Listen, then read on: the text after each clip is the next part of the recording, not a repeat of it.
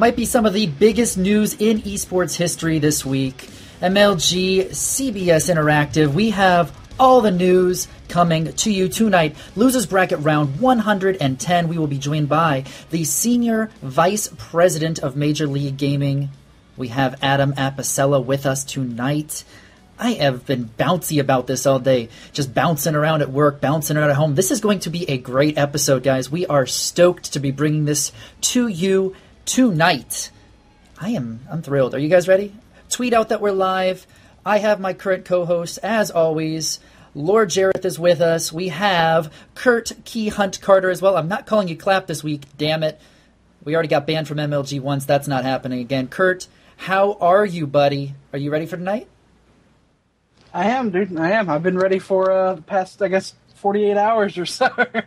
so yeah, should be should be good. There's not a whole hell of a lot of uh, news going on. Other news this week, other than this news, um, and a few things about IPL and stuff like that. So we'll cover all that, but uh, we're really going to be focusing most of the show on CBS and uh, and CBS and MLG and Twitch and of course in ESL. Uh, we might be surprised as well. So yeah, Indeed. doing pretty good. Jerry, what about yourself? Are you excited for tonight?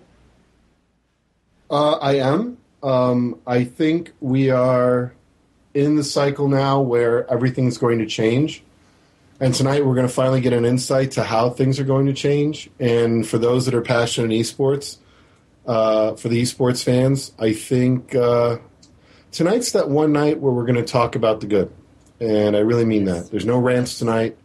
There's no, uh, we're going to talk about the success because I don't think everybody realizes how important this really is. I know to a lot of you, so what, CBS Interactive, Twitch TV, that's great. What does it mean? Well, tonight we're going to find out what it means. We're going to talk about exactly what it means for the players, what it means for the organizations and the people that are involved in esports, and most importantly, the doors that it opens up. Because uh, I think that you're going to find out tonight, this is just the beginning of a series of things that are coming out regarding uh, Major League Gaming, uh, regarding esports, and in many ways, for a lot of us, the game is going to change. And tonight, I plan to to hit those topics. So, um, for those of you that want to know, we typically cover a lot of the console stuff, Gears, Call of Duty, Halo. Tonight, that's not what the story is.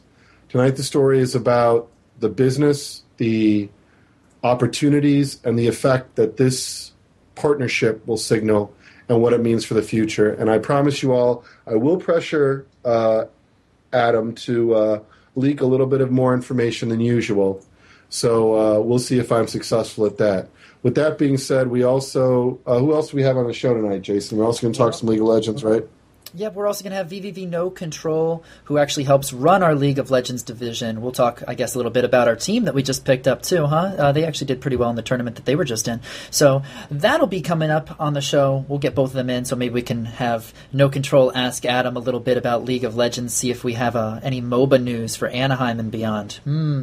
Um, before I forget, this is kind of cool. Curt, we actually are doing something in your honor this week. I don't know if you guys have seen, but all day on Twitter we've been promoting this. We're going to be giving away a CSGO beta key. It's all because of you, Curt, I promise. Uh, but all you have to do if you want to win a CSGO beta key, this will be randomly selected from all the tweets that we get tonight. All you have to do is tweet a link to this show with at losers bracket somewhere in the tweet. Make sure it has at losers bracket and a link to this show, and you'll be entered to win a CSGO beta key. That will be decided right after we go off the air. So to enter, one more time, at losers bracket somewhere in the tweet and a link to the show. Let people know that you're watching, let people know what we're talking about, and you could win. Simple as that. Sound good to you, Curt? Yeah, sounds good to me. And I'm, I, not, I think I'm not, I- I'm not even going to comment. Before we'll tell people before the show's over. Oh, we'll even do the work. I'll, bye. We'll tell you before the show's over. And um, you know, it's random. Last time for the Guild Wars giveaway, it was a VV applicant, and there were some bitter, angry people. Look, if it's random, it's random. Stop complaining. Trust me, the applicant was already their applicant already liked us. That's why he applied. I didn't gain shit by giving an applicant already applied to VVV any kind of kudos, right? So if it ends up being a VV member or not, or an applicant, or someone's brother, cousin, or uncle, sorry, that's just how it is. Trust me, just like Guild Wars, I really don't care who gets the one and only, the only official Curt Key Hunt Check Six Counter Strike Go honorary beta key. There's distance. Yeah. All right. I like Yeah. that.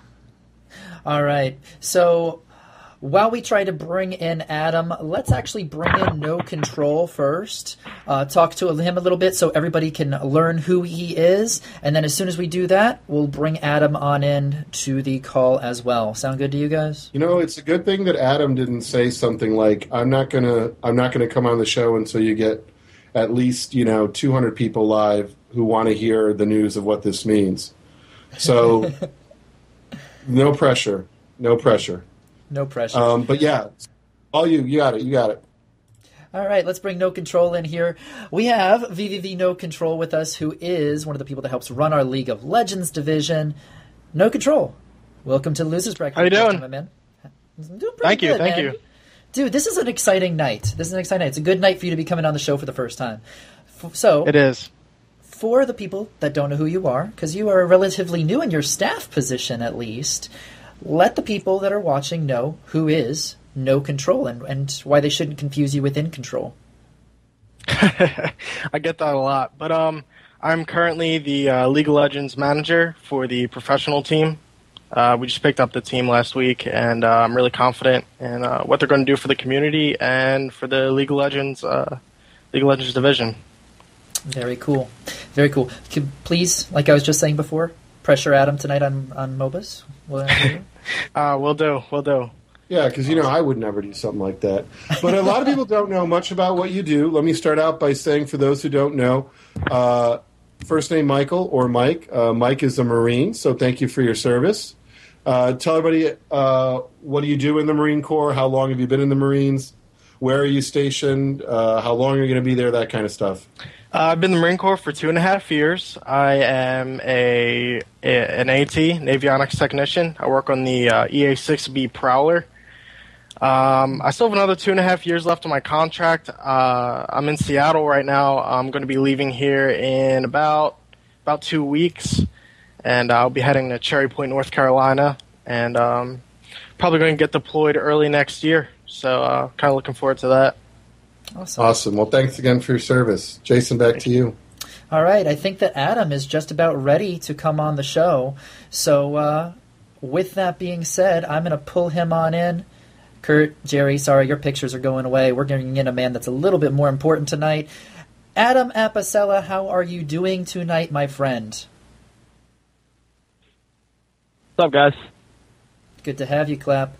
Um, wow, where do we even begin on a night like this? First of all, I, I think we should say First of all, you're fired because you call them Clap again, and we've been telling you to g- keep get them to Adam. We want Adam. All right, Adam, we'll Adam, just Adam. Adam. Adam. Just Adam. All right. People This know is a new as Clap. professional. He's working with CBS Interactive now. There's no room for claps and and that. It's got to be a little more professional. He's got to up his game a little bit. Pardon the pun. I think there's plenty of room for claps with an, the announcement of the CBS partnership. I think That that's pretty horrible. damn Okay. Awesome. Look, I think we've had enough of the puns. We got we did the Brazzers fighting game community puns uh, the other week. No more puns on this fucking show, dude. None. All right, all right. Out of the way. Congratulations on the new partnership, Adam. We're all very excited. Thank you. Appreciate it. We're excited All right. too. Let's get right to it, Adam. I want to start right out. All these esports fans, people are going to be watching this show. They're going to get up tomorrow morning. They're going to download it. They're going to have it on their way to work. What does this mean for us? What changes? What's the big? What's the? Why are we excited? What if I don't understand this? Help me out. Well, I mean, something that I understand uh, personally from you know, I come from the perspective that I run these, I plan and operate and execute these amazing parties, these events, these awesome tournaments, and uh, I feel like not enough people know about them. I feel like we have you know diehard fans, and you know we have this very niche audience, but I feel like we don't reach as many people as we have. And uh, MLG's never spent a dollar on traditional advertising, and uh, you know I think a lot more people are going to know about this party that I planned, and uh, they're going to think it's cool and they're going to want to come out. And there's going to be a lot more eyeballs on what we're doing, and I think that's great for everybody. Um, so that's, I mean, that's one one side of it, and the other thing is uh, our our content, our products are going to be in places we couldn't do by ourselves. I mean, they're going to be embedded on sites that we wouldn't be able to do by ourselves um, on our own, and uh, we're our advertising um, CPMS that we see uh, while we stream is uh, it's going to be infinitely better. So uh, everyone in this space is going to make more money uh, streaming on Twitch, and uh, you know, it's it's good for everybody. I mean, there's it reverberates across multiple levels of business. So, Um, what do you think, uh, from your experience going into this? Obviously, this whenever you do a structured deal with three individual identities, it gets a little more complicated than when it's a partnership between uh, two people. And I know you can't talk about everything, but um, Twitch TV, CBS Interactive, MLG, was this an easy partnership to form? Was it something that sort of wrote itself? Did you guys? Was there some struggle? Uh, what was your, you know, what was your experience? Honestly, it wasn't a struggle at all. Um, kind of like, kind of been talking for uh, over a year now on how we could work together because it made so much sense. We just had to figure out how to do it, what uh, the structure of the deal looked like, and uh, you know, I, I mean, I think when you get, you know, one of the best global distribution partners out there um, and get them behind, you know, the best league and the the best streaming platform. I mean, there's you know it makes a lot of sense when you get everybody in the same room and you decide to hold hands and work together. So. Well, everyone is familiar with Twitch TV. I think uh, a lot of people may not even know how familiar they are with CBS Interactive, uh, CBS, uh, and obviously uh, the things we see at GameSpot are very, uh, you know, familiar. I think it's one of the two big ones. Everybody knows them. So um, let's. Uh, before I monopolize this, though, Curt, I know you have been very diligent. We've talked about you taking a lot of notes. You've got a lot of great questions, and I'm not going to steal your thunder, Curt. I want to hand it over to you and uh, let you start to bring in some of that. Yeah, I've only got a few questions here at the start. Um, first off, once again, congratulations. I know you guys have been working hard on it. Um, and and I think it's definitely been hinted at, hinted at for quite some time. Either either big announcement, big announcement, or you know a, a shot, a few shots at IPL every once in a while. Always uh, always fun to hear. but there are a few things I'm curious about. Um, one of which I want to get out kind of a funny one right out of the way. I'm, I'm, kind of curious how the relationship with GameSpot, uh, which I know it's of course it's, it's, a little bit more than that. It is CBS Interactive, but the relationship with GameSpot and how that sort of came to play before beforehand. So what I mean is, is you know we know we had GameSpot, which was exclusive coverage for Winter Arena. Um, was that sort of a part of this whole thing? Was that a part of this deal with CBS Interactive, or was it more just what made sense because Slasher was working for him at the time, or doing independent with uh, contract stuff with him at the time, or what? I mean, you should know. I mean, these deals like this don't happen. don't happen in the span of the Winter Arena to now. I mean, this has been going on, like I said, for quite some time. And uh, you know, if anything, um, I love I, I I I love Slasher, and uh, I'm glad he's working for him. But I mean, definitely, uh, I, I'd say Slasher's experience at MLG, and you know, us, uh, you know, we've definitely helped each other out there. I think uh, him getting that gig is is is uh, kind of maybe a partial byproduct of this of this collaboration. I don't want to take say it's completely, but Slasher is definitely a talented journalist on a, in his own regard and deserves the job um, on merits of his uh, expertise. But uh, th- this deal wasn't something that just just happened because they covered the Winter Arena. This has been going on for a while, which, like I said, we've been trying to figure out how to make it work. Gotcha. Um, another quick question about content. Uh, a few a few months ago, you guys did lay off a lot of your content crew, both website, both uh, all the you know almost all the TV shows, other than I think Weekly Warfare. Um, does that have did that have in some relation to do with this deal as well? Uh, because of the content that hopefully maybe GameSpot will be producing in the future or something like that, or is it strictly just you guys trying to, as you said at the time, get a little bit more lean and mean? It had absolutely nothing to do with uh, CBSI. Um, it's more of that when you look back at the, where this business started in its infancy and why um, people that you know just believed in us and gave us you know um, venture capital, it's because we ran the best tournaments. Uh, we put on these great events, and uh, the community got behind it, and that's what we went back to. We went back to running, focusing on events, and the content that came out of it would be event related, whether it's competition video, um, or anything just created around just the content. I mean, the the competition content. And uh, feel like we lost our way there for a little bit, and I feel like what we did earlier this year was just an effort to kind of start kind of a fresh, start fresh and start new and uh, focus again on what our core foundation is. Gotcha. Um, last question about sort of content and stuff like that. Uh, you guys got a lot of flack during the Winter Arena for having uh, n- no space and not allowing uh, a bunch of the press for a lot of the independent sites like ES- ESFI and things like that uh, into uh, the Winter Arena. With the CBSI deal, is that going to complicate? Oh, looks like the call actually just dropped for a second. We're trying to get that back real quick for you.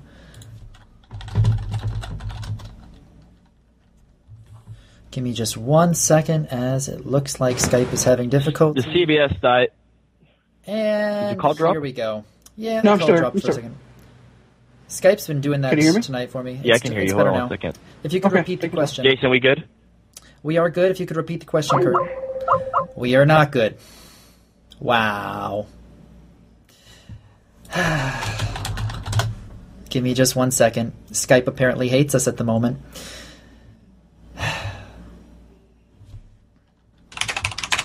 And Yeah, my camera's really grainy too. I did state of the game earlier, and it was fine. I don't know if All it's right. on his end or mine. and Yeah, I can double again. check to make sure if there's an. All right, we're back. Let's hope that that's the last. We're going to restart the Skype call. Give me one second. I'm going to restart this because this is painful.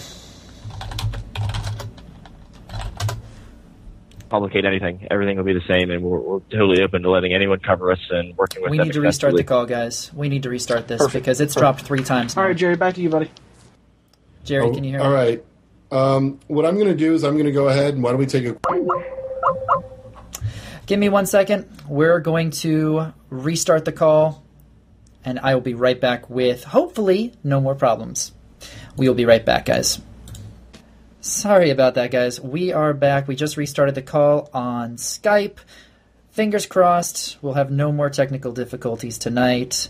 But we are back with Adam, and let us. All right, everybody. we Thanks for your patience. Can I hop in? Go for it, Jerry. All right, let's get to some tough questions. Uh, I want to get to the harder stuff. Adam, obviously, you just mentioned that this is going to trickle in a lot of uh, extra uh, opportunity, possibly extra capital. Um, let's talk. Let's start looking at the Anaheim event. I mean, everybody right now is aware of what you're doing for the arena. Um, let's talk about our game selection we have right now: StarCraft, Mortal Kombat, uh, Soul Calibur, if I'm correct, right? Those are all Yep. the ones you have confirmed. Um, any word on any other games? We confirmed King of Fighters. Yeah, King of We just- Fighters also. Thank you. So Yep. all those three are going to be on it. Anything else? We're announcing another a new title next week. Is this a title that's ever been on before? Ha. Ask me tough questions, Lord Jerith. You we might have we, we might have seen this title prior on the MLG uh, circuit history. Does All it begin with an L and end with uh, League of Legends? the fact he looked, I feel like it's Hollywood Squares. Adam looking up at the box above him. so, Adam, Uh, I think it's a title that everyone wants to see, and uh, we've been work we've been working very hard since 2011 with this publisher to make sure that the deal that was in place and the relationship we have with working with each other is going to be one that is mutually beneficial for years to come, and we're very excited to announce it next week.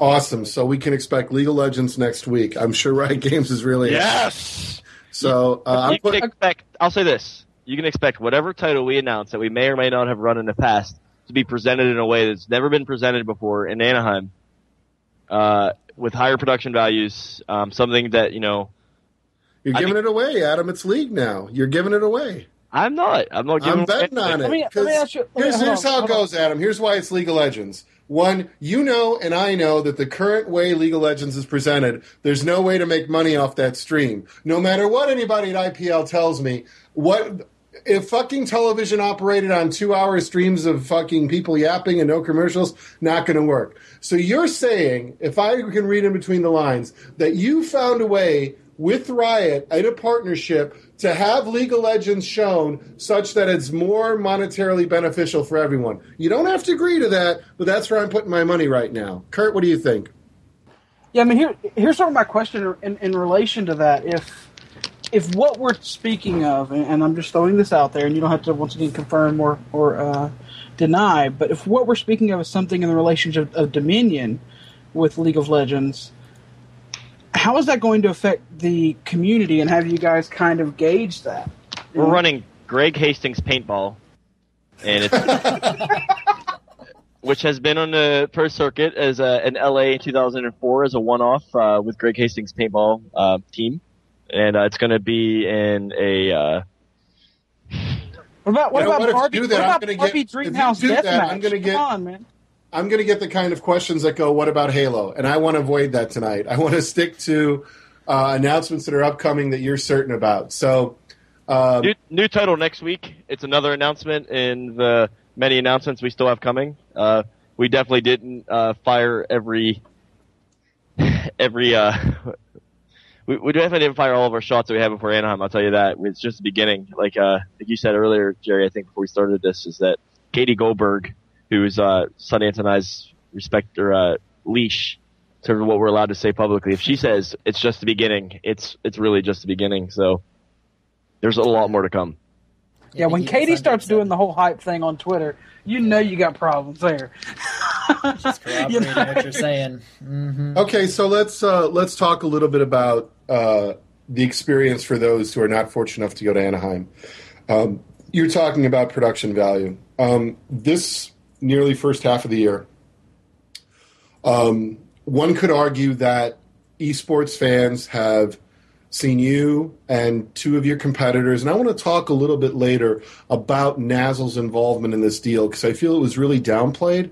But before we get to that, there's been this competition, different people um, doing different things. And I want to ask you something. Do do you think? Um, do you feel that as you move forward, MLG, and I don't want a stock answer of yes, we are. I get, I, you know, I know that, but um, you have all learned a little bit from each other. Do you see Anaheim, as far as production quality, as far as what I get as a spectator, to be another incremental step forward, or is it going to be something really big? And can you talk about any, anything that that would sort of have somebody go, "Wow, that one item does sound really big"?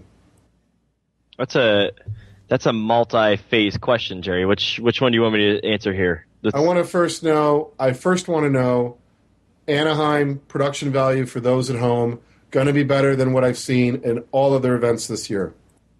yes. Second question: the degree by which it's going to be better. There are things people like about what IPL does. There are things people like about what NASL does. There are many people like what MLG does. You mentioned something about we're going to do a new title that hasn't been shown the way we're going to show it. You're going to announce that next week. What about the titles I am familiar with? My questions would be to, how much can you improve StarCraft?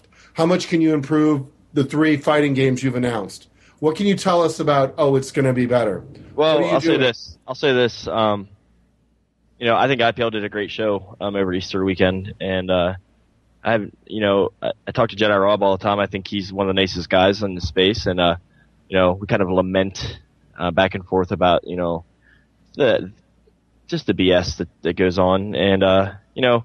I, I, I, them having a bad show last or uh, over Easter weekend would have been terrible for us. So let's not let's not let's not misrepresent that. We wouldn't have been cheering if their event was a disaster because it would have made this whole space tougher for us to sell. So I'm glad their event was great. I some of the games they put on were amazing.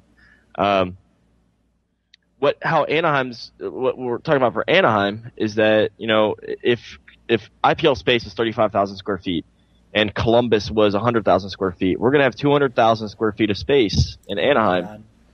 and every inch is going to be filled. Um, we are going to have a publisher there that's going to have their biggest activation they've ever done outside of an internal event. Um, and it's going to, uh, you know, I'll say this, Jerry, I'll give you a leak right now. We will be at E3 with an official booth with CBSI the week of MLG Anaheim. And a lot of the press and a lot of the stuff that's going on there is going to carry right over to Anaheim. So there's some huge shit going on for Anaheim. Like I said, double the space. Every inch is going to be filled. There's going to be some stuff that no one has their hands on yet that's going to be there. And uh, there's going to be more asses in seats than it's ever been in an esports event.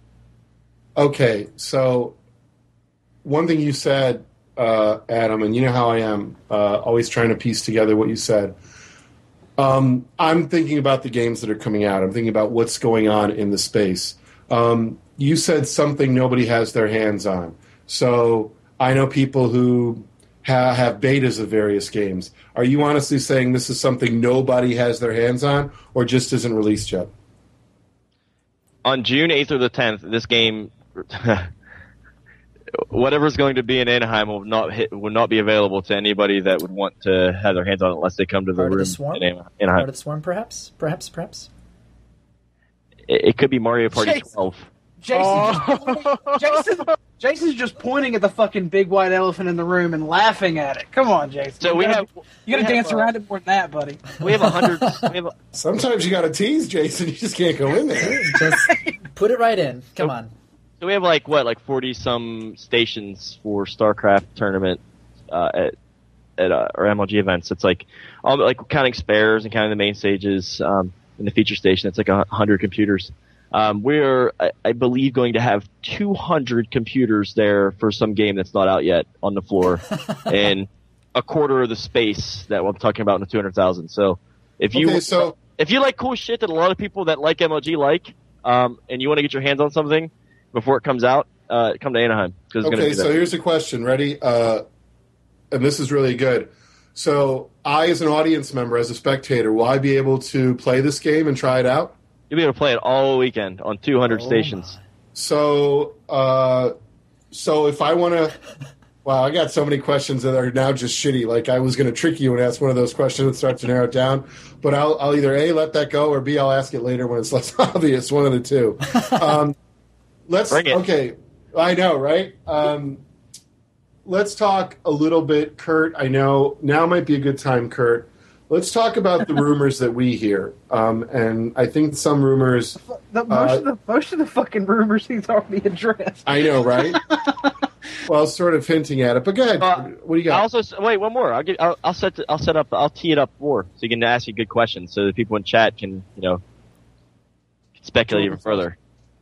I also say that some of the biggest stars in the world, and all of these titles will be in the room that have never been in a room before in North America. So you How just about that? ruin, just ruining How my that? fucking question there, Adam. You just, How just- about that? you're banned from Check Six tournaments. Okay, how do you like that? so, what do you think there, Curt? Are we talking Brood War? yeah, You think so? It's got to be. yeah. We're all betting on Brood War. Oh, God. Pro League starting soon, dude.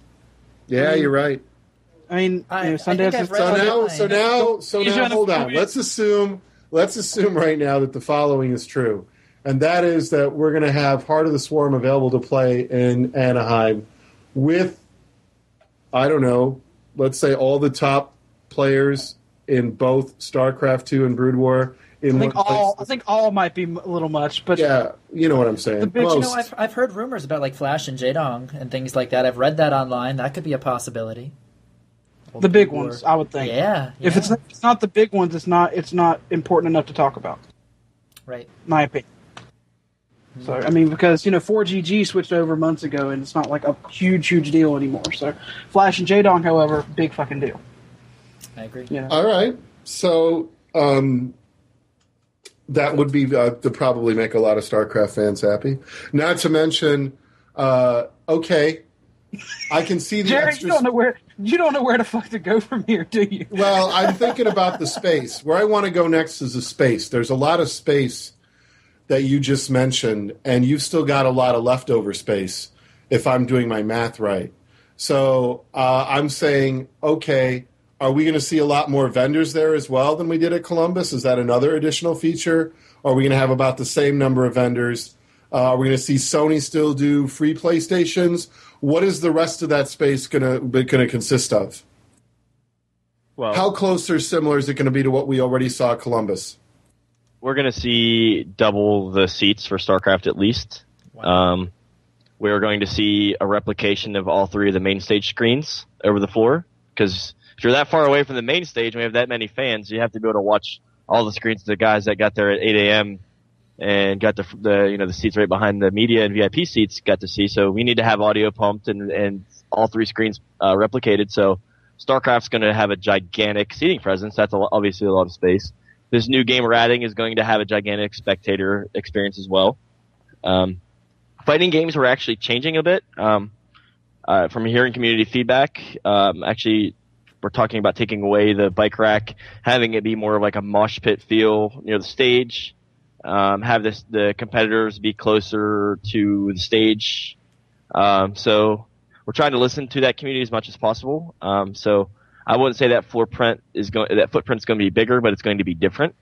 Um, and yes, all the pa- partners that were there in Columbus are going to be there again, and we'll have more. Um, we have more partners that are want to get on board with us, uh, big partners um, that will be activating live and will be supporting us all year that are coming on starting in Anaheim. Oh wow. All right, Mike, did you have a question? Yeah, so is uh, League of Legends going to be invite or open? Wow. Yep. See, I- see, I- see, the thing is, I think that's a very interesting question. And the reason I think that's, that's an interesting question is number one, he doesn't, you know, we don't know whether he's going to answer it, you know, you know, bluntly or not. But I'll answer you. You want an answer, or you want to you want to ramble on, Curt? You're so banned again, Curt. oh god, Come on, Adam. Yeah, I do want an answer. I want to know.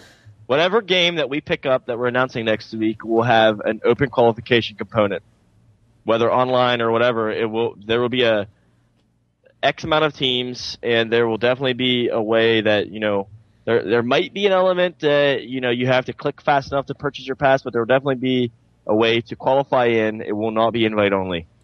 Awesome. Wow. Hold that could on, I make got big news more. for those people who may have recently picked up one of those teams. Um, I got one more that's in regards to uh, other games that might be coming out in the next, you know, month or so before. Absolutely, Jason. Before you do, uh, at this point, Curt and uh, Michael, if you guys could start in the chat, I want to start getting questions from the people in chat, and then just go ahead and type them to me. I will screen them, screen them. So if I don't want to ask, they can hate me because I've been getting a lot of love this week, so I'm due for some hate. So just let me know what they are, and then we'll get them asked. Sorry, Jason. Go right ahead. No, it's totally cool. Um, there might be some other potential PC games that you know certain publishers that might be at Anaheim could be bringing out within you know the next month or so. Uh, since we're going to have so many open PCs at Anaheim, is there any chance that we might see any other games from this developer that might be there? Any chance? Maybe. I never said it was one title. Oh, there's the answer we were looking for. So there is a possibility we could see more games from the developer. the publisher that wants to work with us in Anaheim is very interested in making it a very amazing experience for their very devoted fans. So All right. So hold on. Wait a minute. Wait a minute. Wait a minute. You said publisher. You didn't say developer. You meant publisher. Yeah. I always meant publisher. Okay, well that that points more and more to a Blizzard because it's certainly not going to be EA, right? We started looking at the pu- publisher list start to win- dwindle down when we think about publishers in this space. Who makes the Mario Party franchise? Yeah, that, you don't even know the name of your partner that we were going to bring up. so So there is there Yeah. is a chance of something like Diablo or you know could happen for those people that are asking in chat. If we were working with Blizzard, if we were working with Blizzard, that may be a possibility. But I don't think anybody said that, Jason. Hey, Although what know- would be cool is that what would really make for something interesting, and no offense to Blizzard, who's a fantastic partner, but wouldn't it great if like Riot had a secret IP or something like that, or some something exciting like that? I don't want to like take away from you know whatever uh, awesomeness is already there, but uh, we can maybe have some fun speculation at least. agree. Rem- Um, but Jason, I'm sorry if you had more. No, please go ahead. Continue on, Jerry. Uh, Adam, another thing I want to cover too is, um, you know, we were looking carefully at subtle changes. I noticed in the uh, qualifiers you have going right now for the re- arena, um, the continuation rule, uh, which I think is needed, has to be removed. Is that a permanent victory, or is that something that you know John is going to want to bring back for the championship, or is that not yet been decided? Um, so you're talking specifically about this weekend, right? I am. I am talking about this weekend in particular, and then will that go beyond this weekend? Is the question. So there's like a core tournament team here of like you know across um, different spectrums of like company business, whether it, you know people that have come in as like referees or um, community members that we've hired, and they've you know since interspersed to like maybe editorial, or now they work on our membership product, or they work somewhere else. And then you have like John Nelson, and you have Casey, for Strictly League. But when it comes to respected opinions of people that you know like you know, obviously super intelligent people that understand what we do, but now are just doing different business for MLG. There comes like this kind of council, I guess you could say, where we, we where we debate um, pretty heatedly um, rules um, here, and um, we've had, I would say, in the last week and a half, over ten hours of, and I, don't wish it. It's like ten, like three hour uh, blocks where we're just in a meeting going through, you know, statistics, um, you know, playing devil's advocate, you know, shooting holes in anything we're talking about. And one of the things that came up was the reverberations that happen when you, it, there's a different, there's a beast that you have when you have four pools, right? And then you take extended series and you carry it over to the bracket. All the pool players in those respective pools are interspersed into random parts of the bracket, and there's a, a lower chance those players are going to meet up again later, right? Because they're they drop into different parts of the bracket. Um, and you do an eight man pool where everyone plays each other, it's guaranteed that everyone's going to have match history. So that's a baseline. It also creates some wonky things where, like, say we're in an eight person pool, right? Uh, us on this call, some other people from chat. We, we had this eight man pool. And say Jason goes seven and one, right? He's the number one guy in the pool. I go, you know, whatever, three and four and but one of my wins happens to be against Jason in the pool. Like I beat him in a series. I'm his only loss. I happen to make the pool um, uh, over like two of the guys that get eliminated, and I match up against Jason. And Jason match up against Jason in the grand finals. How do you explain to somebody that I now coming from the loser bracket have an advantage starting with Jason who cleaved through everyone else in the grand finals? These are questions that we we've literally gone back and forth, and I mean there's there's definitely points in either side, and uh, I don't want to say it's a victory for anybody that doesn't like extended series. Um, I don't think that's fair, but I will say that we are taking a closer look at it, and uh, uh, maybe some modifications will happen in the future. But I'm really really happy with. I'm really proud of our team that we because uh, we we all argued this fiercely. I can't even um, articulate the conversations that happened, but um, where we ha- ended up with the the structure for this event, I'm really I'm really happy with what happened, and uh, really proud of the team that you know put all the hours in to make it happen. Awesome. The next thing I want to talk to you about is I don't know, it was a while back, but uh, uh, Ben, uh, known on Twitter as NMLG Ben, said, "Hey, sports journalist, how would you feel about being able to post news interviews on GotFrag and use that as your base?" Um, I guess you do have a IP sitting out there that you're not doing much with. Uh, Jerry, can I Jerry, can I head you off here though? Frag question. Come on. Go ahead. I, I don't have much opinion on this. I'd rather just move on. This isn't something that's even affects my universe. Gotcha. Not in not in your not in your thing. Well, I'm just saying. I wanted to know. Someone call Lee. I know, right? Well, you can understand why I'm curious, right? Because I mean, rarely do you, you know, that that might be something interesting.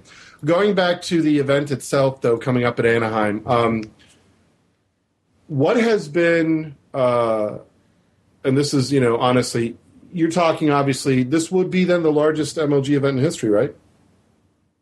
This will be the largest event in MLG history. Okay. And uh, very seriously, I mean, what I'm asking, what are you worried about? What are the challenges? What are you, and I don't want the big checklist of Jerry, anything go wrong, but what are some of those pressure points you have upcoming? Um,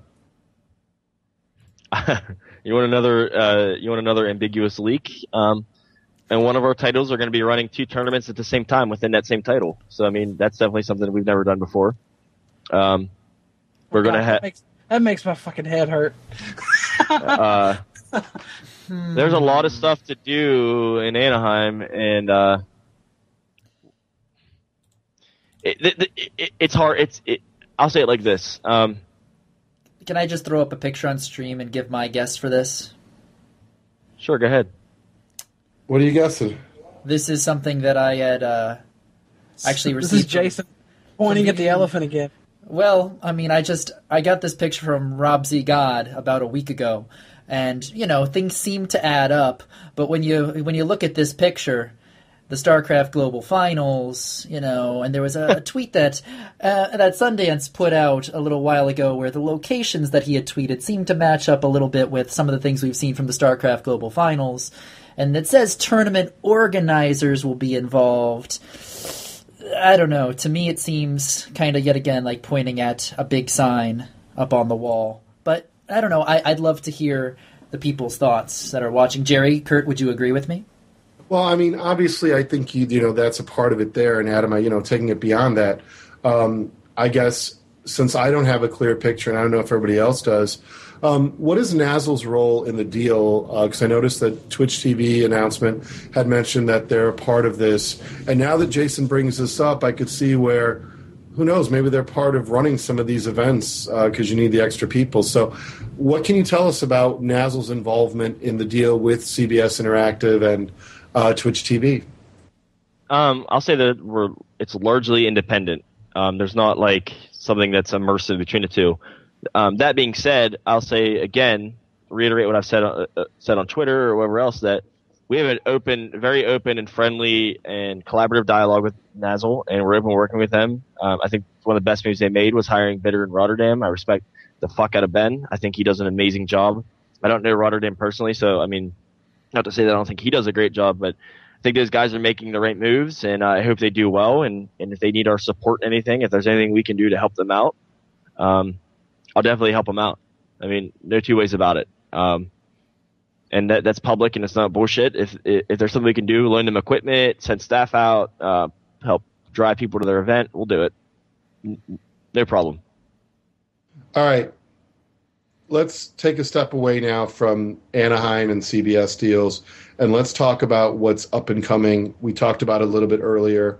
Um, you know, Curt, you wanted uh, open qualifiers. We have two arenas. May not be perfect for you, Curt, but talk to me, Adam, a little bit about uh, what's going on for these arenas. Getting something better. Give us give us the details. I mean, it's right around the corner, so talk to us. So Hold on one second. Is that a message from Katie going, This is what you're not allowed to say? it's a little too late. She's like, Lawyers are calling. Careful. yeah. It's a very serious look. It is a serious look. It is, man. It is. This is important. Now everybody gets That's a actually, smirk. He's actually closing his Counter Global Offensive beta right now. That's what he's doing. so uh, this weekend, uh, we're going to have seven streams going. Some people might think that's overkill, but let me explain why we don't think it's overkill. Um, we're going to have eight of the best players flown in, obviously, and they've qualified through um, their placement at Columbus. Um, and parallel to that is the extensive qualification um, process that we have in place to have players, um, you know, go through the online uh, system and uh, come to Arena Two. Um, but for Arena One, we're going to have uh, two main streams. Every match played within this tournament structure will be broadcast, and so we'll have Tasteless, Artosis, DJ Wheat, Grubby, JP, Rob Simpson, and we'll have Adabisi uh, observing on the mainstream and also, we're going to have three analysts, race specific. We'll have QXC, we'll have Sheth, and we'll have Axslav. And if you take, if you, one of, one of the big things we hear is that you guys always tout you have quad view and you have all these streams, but I don't have enough eyeballs to be able to watch all of this stuff. Um, there's no way I could really pay attention to all these streams. So on the, with what we're doing is that the there'll be two main streams, but every point of view from the players will be a direct feed. So you really get a story told. You have your mainstream commentated by some of the best guys in the business, the best guys in the business, uh, and the point of views will be, you know, there to see the, the, the full scope of the story as they're telling it. And then after the game's over, you'll have a, a pro within that specific race that's being matched up, you know, saying why he did this, why he didn't do that, why the story concluded how it did. And, uh, I feel like it's that we're going to put on the best presentation for what can be a very complicated game to explain uh, based on our broadcast. Hmm. So the best story told to date in StarCraft is what we should expect to see this weekend. I think that's fair. I mean, Adam, would you agree with that? W- repeat the question again. I'm sorry. I was You just said, in short, we're going to get. Yeah, in short, ahead, we're going to see. In short, we are going to see the best presentation, the best storytelling of StarCraft that has been done to date at the arena this weekend.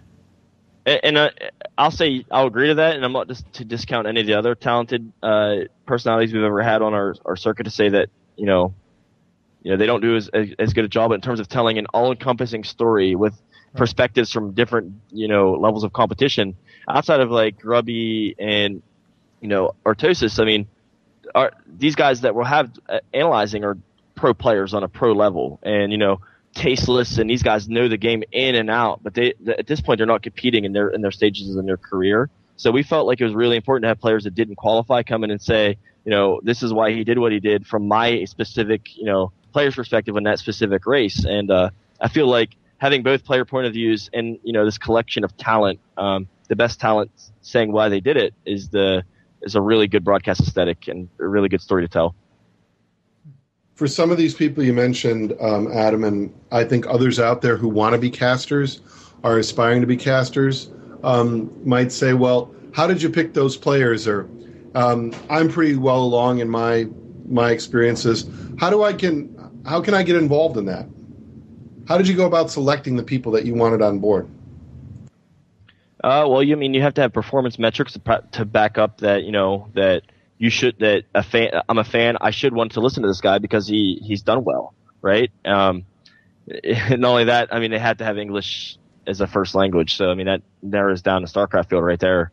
Um, and so I mean the guys that we have, I mean they're incredible and they have uh, competition metrics to back up why people should listen to them. And so, I mean, I, I guess what I would give advice to somebody that wants to do this in the future is go to tournaments, do well, and uh, if if you if you're playing, stream and prove that you're articulate on camera, and uh, we'll definitely give you a look.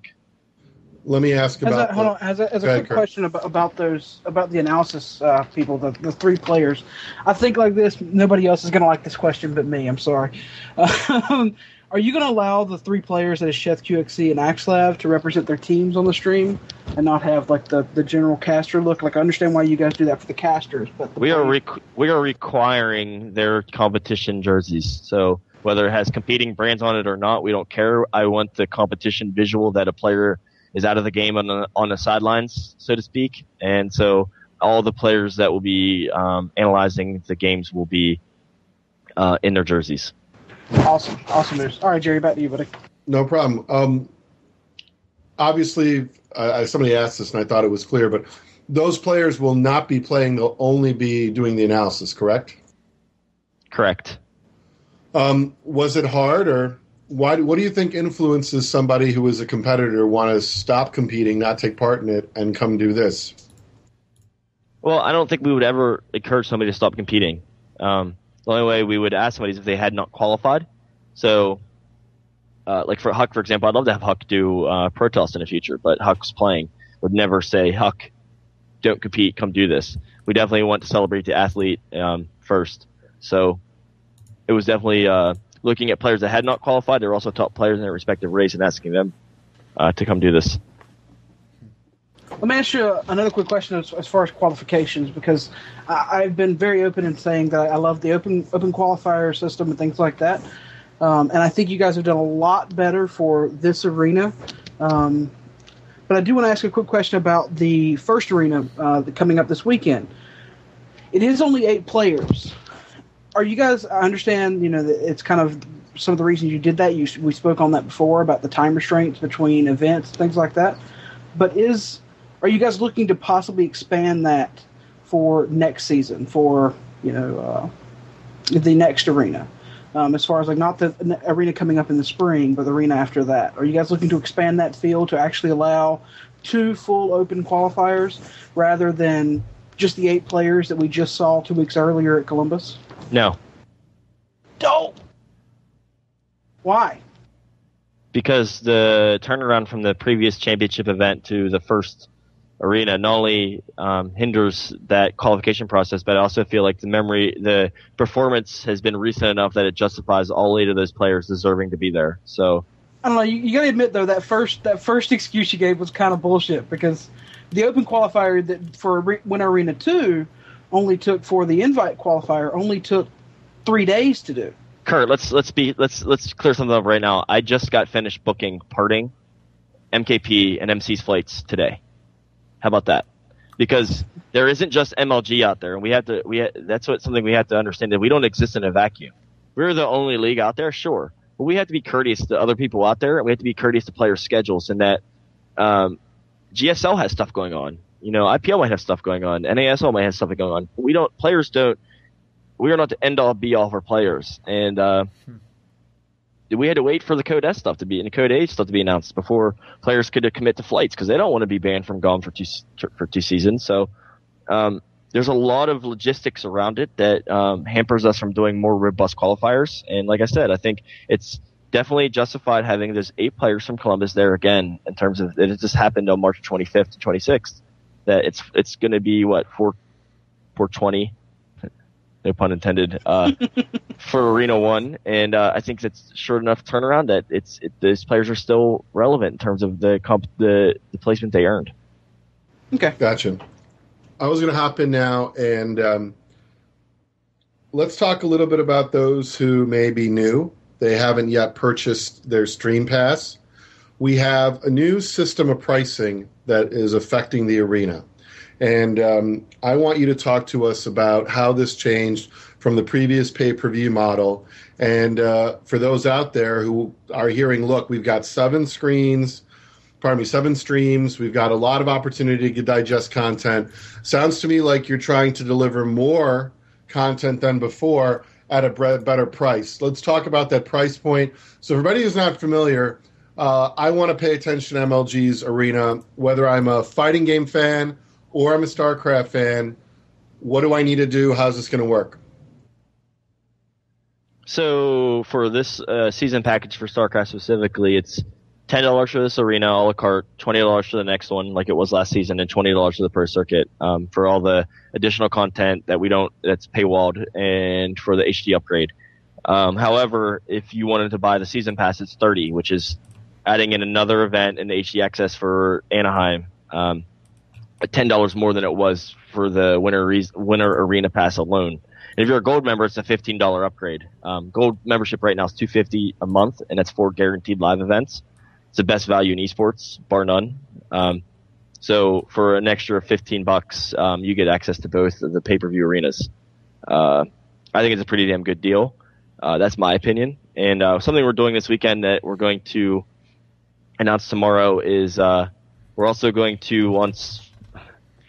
Sorry, Katie. On Friday or Saturday night, uh, do a 2v2 tournament with the players that are going to be there. So oh, wow. all the players will be fan voted into uh, to 2v2 teams, uh, avoiding uh, you know Protoss Protoss for example on the same team, but uh, and uh, the fans will vote on who they want to see matched up, and they'll be put into single elimination bracket, and they'll play for a prize purse 2v2. Uh, That's cool. That is really cool. Yeah, that would be something. I, I, absolutely love that content. Love I do too. I, and I, I really love the uh, the Dr Pepper stream when Lenok played mono battles with people with fans from the stream. That was amazing. That was that was hilarious. I know the Dr Pepper stream wasn't incredibly, uh, you know, a lot of people watching it, but I absolutely loved it. So Dr Pepper stream is going to be incredible this time around. By the way. All right, you mentioned it. Let's hear it. Yeah, what's Talk to us. well, I mean, he's already come out and said it. I mean, Clutch um, will be hosting it all weekend. Um, the race-specific analysts that we referred to earlier will, when they're not um, on a stream, they'll be in there uh, doing fun activity. Um, we have a lot of scheduled stuff. It won't be just kind of like a stream on a room this time again. Uh, this time around, it'll be a lot of stuff going on. It's scheduled, um, hosted, and uh, with a lot of uh, star power that we have coming in from the broadcast talent to the players uh, participating in it. I have another quick question about the upcoming arena um, that I don't think anyone's asked yet. Uh, Team Liquid, can we expect to see uh, it on the stream viewer and on the calendar this time? It's already up there, man. We're already on the calendar, and we have a countdown timer, and we have a landing page. We're working with those guys really closely. Yeah, that was my point. I was I was getting around to the fact that now there's a landing page. So I find that incredibly interesting, Jerry. I'm not sure if you noted that or not, but Well, now I mean, now there's a, uh, you know, a MLG Arena landing page for Team Liquid, and you know last arena they kind of took the high horse there.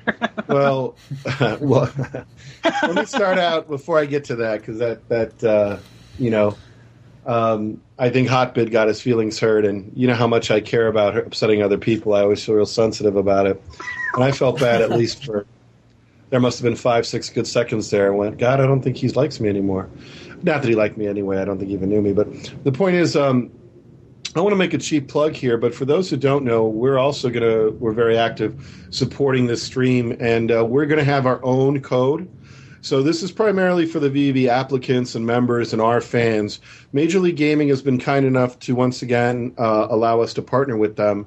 So when you go to uh, purchase your season pass, which I highly recommend, that's the really top value, the $30 pass.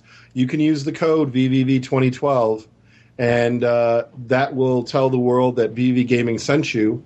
And um, it obviously, uh, for our members, our fans, all that, again, uh, Major League Gaming is helping us by giving us this opportunity to work with them and help drive sales uh, to this event. We'll again be holding a, in our Mumble stream uh, kind of our virtual bar craft, just like we did last time. That was really fun and successful. Um, surprisingly, we didn't even. Um, there were some people who stayed up in our Mumble for uh, the entire event, never left. Uh, that was really kind of cool because they ended up playing games afterwards. A few people pulled 24 hour uh, all nighters because they got done with the event and then they went and played games and they didn't want to go to bed. And then they just kept watching the stream the next day. So, again, the code here is VVV2012. The VVV is all lowercase. 2012. I'm sure some staff will be putting that in the stream chat. But I definitely want you guys to support that if you can, because um, it's a. Yeah, I don't know. I've been a fan of this from the beginning. Like I really, I mean this. I would not. I would never. I can't waste time. I don't know how to tell this to everybody, but people say to me, you know what, you should come watch so and so stream. You should come watch so and so stream. You know what? I wish I had the time, but watching players practice or sometimes watching players sort of screw off is not interesting to me. If I watch StarCraft, I really want to watch good matches. I want to watch VV players. That's what I want to watch. I want to watch that. And when I, the, the weekend comes around where I know it's going to be nothing but the top players, that is amazing, bene- amazingly beneficial to me as a fan, to me as a guy who gets to, to get my players and our, our StarCraft community really looking at some of the things that the top players are doing right? That's really important. So I'm just a big fan of the stream overall. And Can I put Curt, to your question, go ahead, sure. Can I put an addendum in? For last time with the last arena, uh, you were not able to use a referral code with uh, the discount code that was sent out. I do believe that has been fixed because the gold member discount now is down to fifteen dollars instead of the regular price thirty. I do believe there is still a box where you can use a referral code. Is am I correct in that, Adam? I believe you're right. Yep. Yeah, I think so. So if that is the case, even if you are a gold member getting it for half price for $15, you still can use a referral code. So please, if you are a gold member and you would like to, VV2012. Continue, Jerry. Sorry about that. No, and here's the thing to a lot of people who may not necessarily be StarCraft fans per se. Uh, I'm talking in particular to the fighting game community. You know, this includes you as well. Um, I was pretty, uh, I think, bring all three games back signals that uh, Major League Gaming wants to continue uh, in more than one way to look at fighting games. So this is something the fighting game community should certainly not um, not lose sight of. And I say this all the time. Um, the more that uh, those of you out there involved in esports, uh, the more you have a say, the more you understand what's going on. I do find sometimes that some games where the games are no longer on the circuit, they're disconnected from esports, and they still they still believe that they're in the glory days of something. And I got to be honest with you, um, the size and and uh, traffic that I we get in VVV gaming uh, due to StarCraft and League of Legends, um, it's pretty phenomenal, and uh, it's really hard. I could I could probably add numerous things together. That's how popular it is, and uh, I really encourage you if you really have not gotten into StarCraft. not looking at fighting games. Should League of Legends come up at Anaheim, another good reason to buy the pass. Uh, you might want to figure out what everybody's looking at. Um, but yeah, so that's that's our shameless plug for VVV 2012. For our fans, for the people who appreciate what we do, this is one way to really help us out and use that code. And for many of you, I'm going to ask you as a favor, gold member or not, to please use that code because uh, we try and our staff works hard, and uh, the the benefit we get from that goes directly back to our teams uh, and our hardworking staff. So just to make that clear. Going back though to uh, the upcoming arena, Adam, and you know seven streams and what we just talked about. Um, I guess you had some benchmarks in mind in the winter arena. You met them. You're obviously expanding the spring arena. What would you say you're looking for differently this time? Uh, if I was an esports fan and I said, you know what, I'm really glad I'm being able to do this. Anything else I can do to help you besides more viewers on anything? Um, anything that you really going to need feedback or you want us to watch something closely because you're not sure it's really going to work or you know i know you guys collect a whole bunch of feedback but just get an idea of what what you're thinking like you know hopefully we'll get these results uh, i'll say the win arena i mean everyone's there's like so much speculation out there um, and you know no matter what i say here everyone will think it's pr speak but uh, the win arena was uh, an ex- exponentially more successful than we thought it would be. Uh, what we had forecasted, um, 150% better in terms of uh, metrics. And uh, if we had j- just hit our minimum or our regular goal, we still would have had exactly what we're doing here for this season. It's not like we, so, like I see a lot of gamesmanship out, or like a lot of um,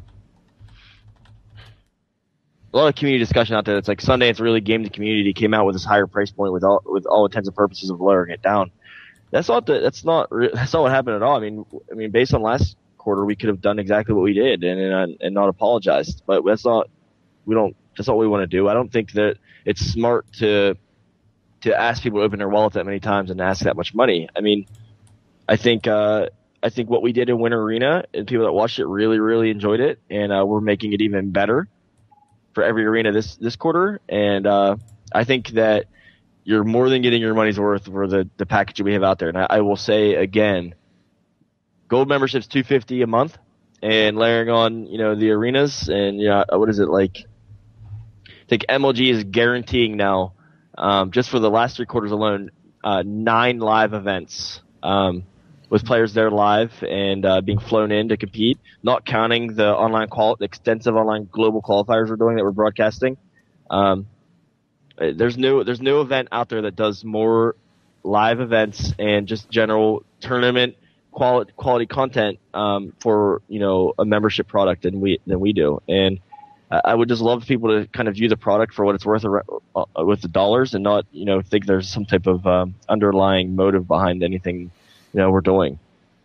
Well, I always felt that uh, the we'll call it disconnect between you and Team Liquid over there uh, when they made that you got to pay us whatever undisclosed sum that they didn't discuss uh, to put it on their friggin' calendar. Uh, this seems to be fixed this time, uh, like you said. Um, do you feel that sometimes the community, your partners, uh, and I don't mean Team Liquid in particular, um, do you think there's something that could be done to like better help?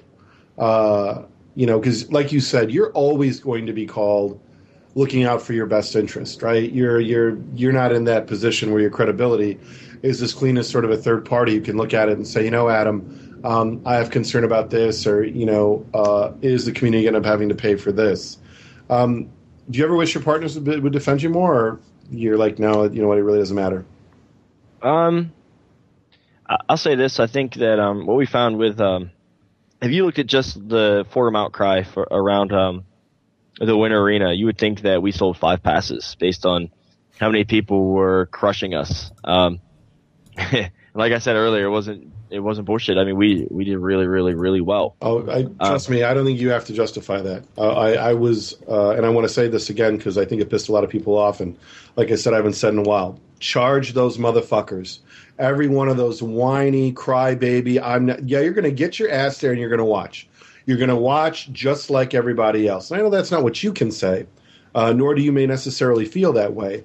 But uh, certainly you're absolutely right in that all the crying and the protest and the we're not going to watch and we're not what do they do they watched or at Well, least a lot of them are not you know a lot of them aren't there maybe i guess but But maybe they didn't. But I found maybe they didn't watch. You know, and, and that's fine. But I found that our our customers might not be the ones that are posting the forums, um, cussing us out, um, or you know the ones you know tearing us down publicly. I mean, I feel like uh, that might not be indicative of the people that are you know that appreciate the content we put out. So um, I, I'll say that the arena, the spring announcement has been you know exponentially. Uh, uh, it's gone over much much better than the winner announcement, and uh, so I mean, maybe if we're starting to win over some of the dissenters, um, and we couple that with the people we know that are going to support us, um, I, th- I think I have pretty high hopes about this weekend and the rest of the season.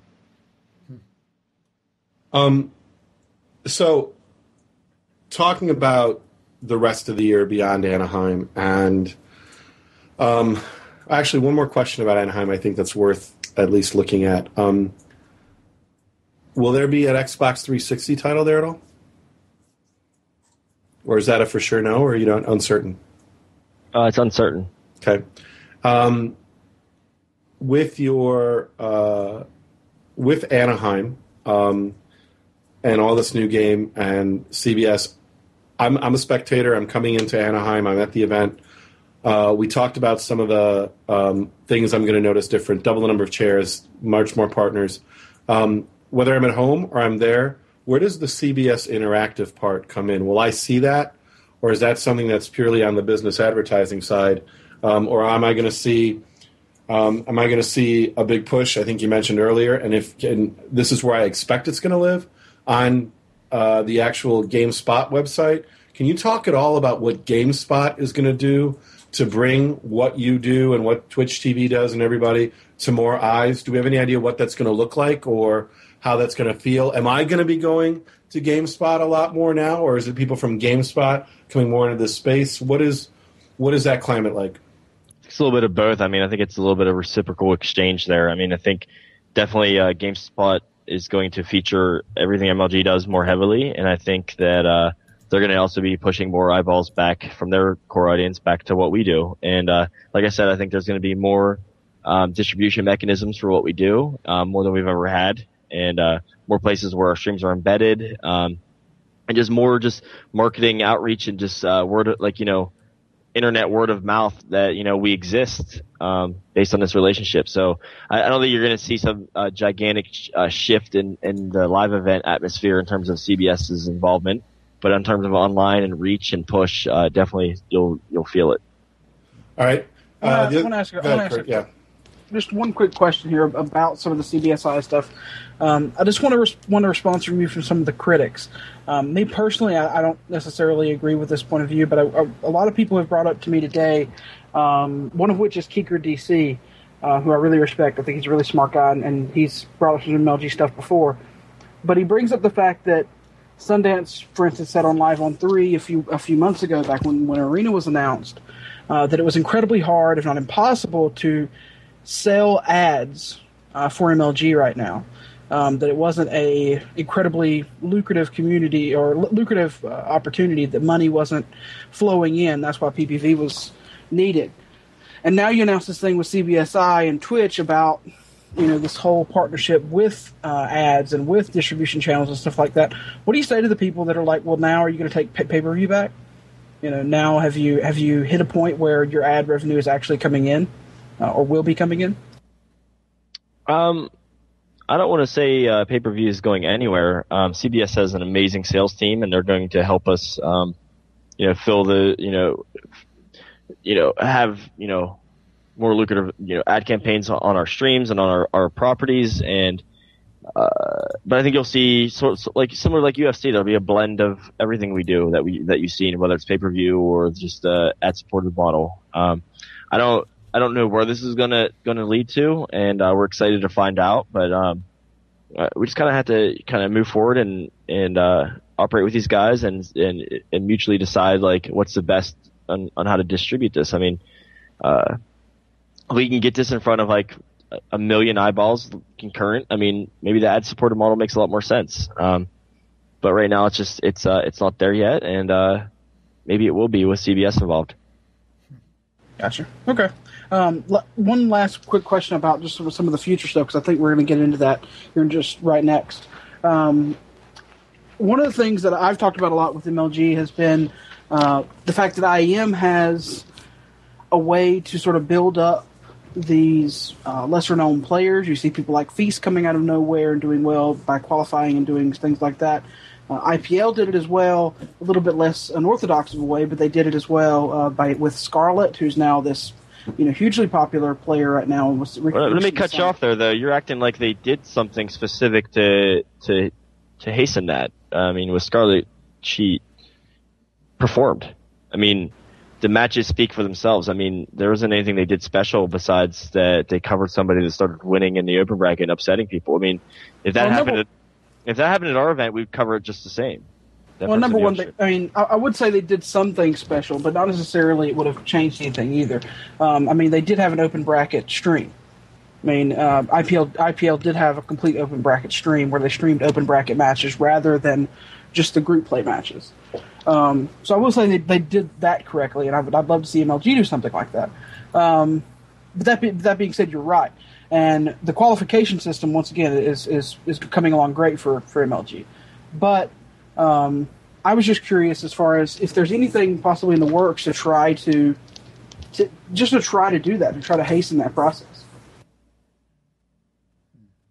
uh, cover the open bracket more extensively. Yes, yes, exactly. I mean, I think we can do a, better job. I, I mean, we covered this, I think, last time. I didn't think that we can definitely do a better job. But I also think that it's we're. I, I also think, though, and I'll say this again, that we have no su- subjectivity to who's in our pools. So, yes, we want to cover their aspirational side of our events as best as we can, but there's no like subjective invites or this guy has a lot of stream numbers, so we're putting him in the pool. It's like everyone's there, earned it, and they deserve to be covered. I got you. Does that make sense? I mean, it's like the people that are on the streams that we're doing. I mean, they they've gone through some competition metric, whether online or uh, whatever else. That they they are seated in those pools and seated in a position of prominence because they earned it through competition, not because we ex- invited them because we felt they were the best, uh, you know, person to push stream numbers. So, I mean, I I'm very staunchly against any type of subjective um, favoritism um, on a stream. Yeah, open bracket coverage is is important. Um, but I feel like what we're covering right now is just as important. That the people that earn to be on that stage are being covered. I got you. Will, will we expect, by chance at all, to see in the future be- the beta streams go back to what they were originally intended for, which was open bracket coverage? It's not what they were intended for. They were intended to cover get more matches out the door. But that's what they were announced as. They were announced as an open bracket coverage stream. I mean, they might they might that might not have been the end plan in your guys' head, but that was what it was announced as was an open bracket stream. Uh, the which was the beta beta stream one and two, or blue and red, or B and C, or so, something like that. I think we Either way- definitely. I think we do. I think we can do a de- definitely a better job of covering matches people want to see. that are on the open floor. I agree with you. Okay, great.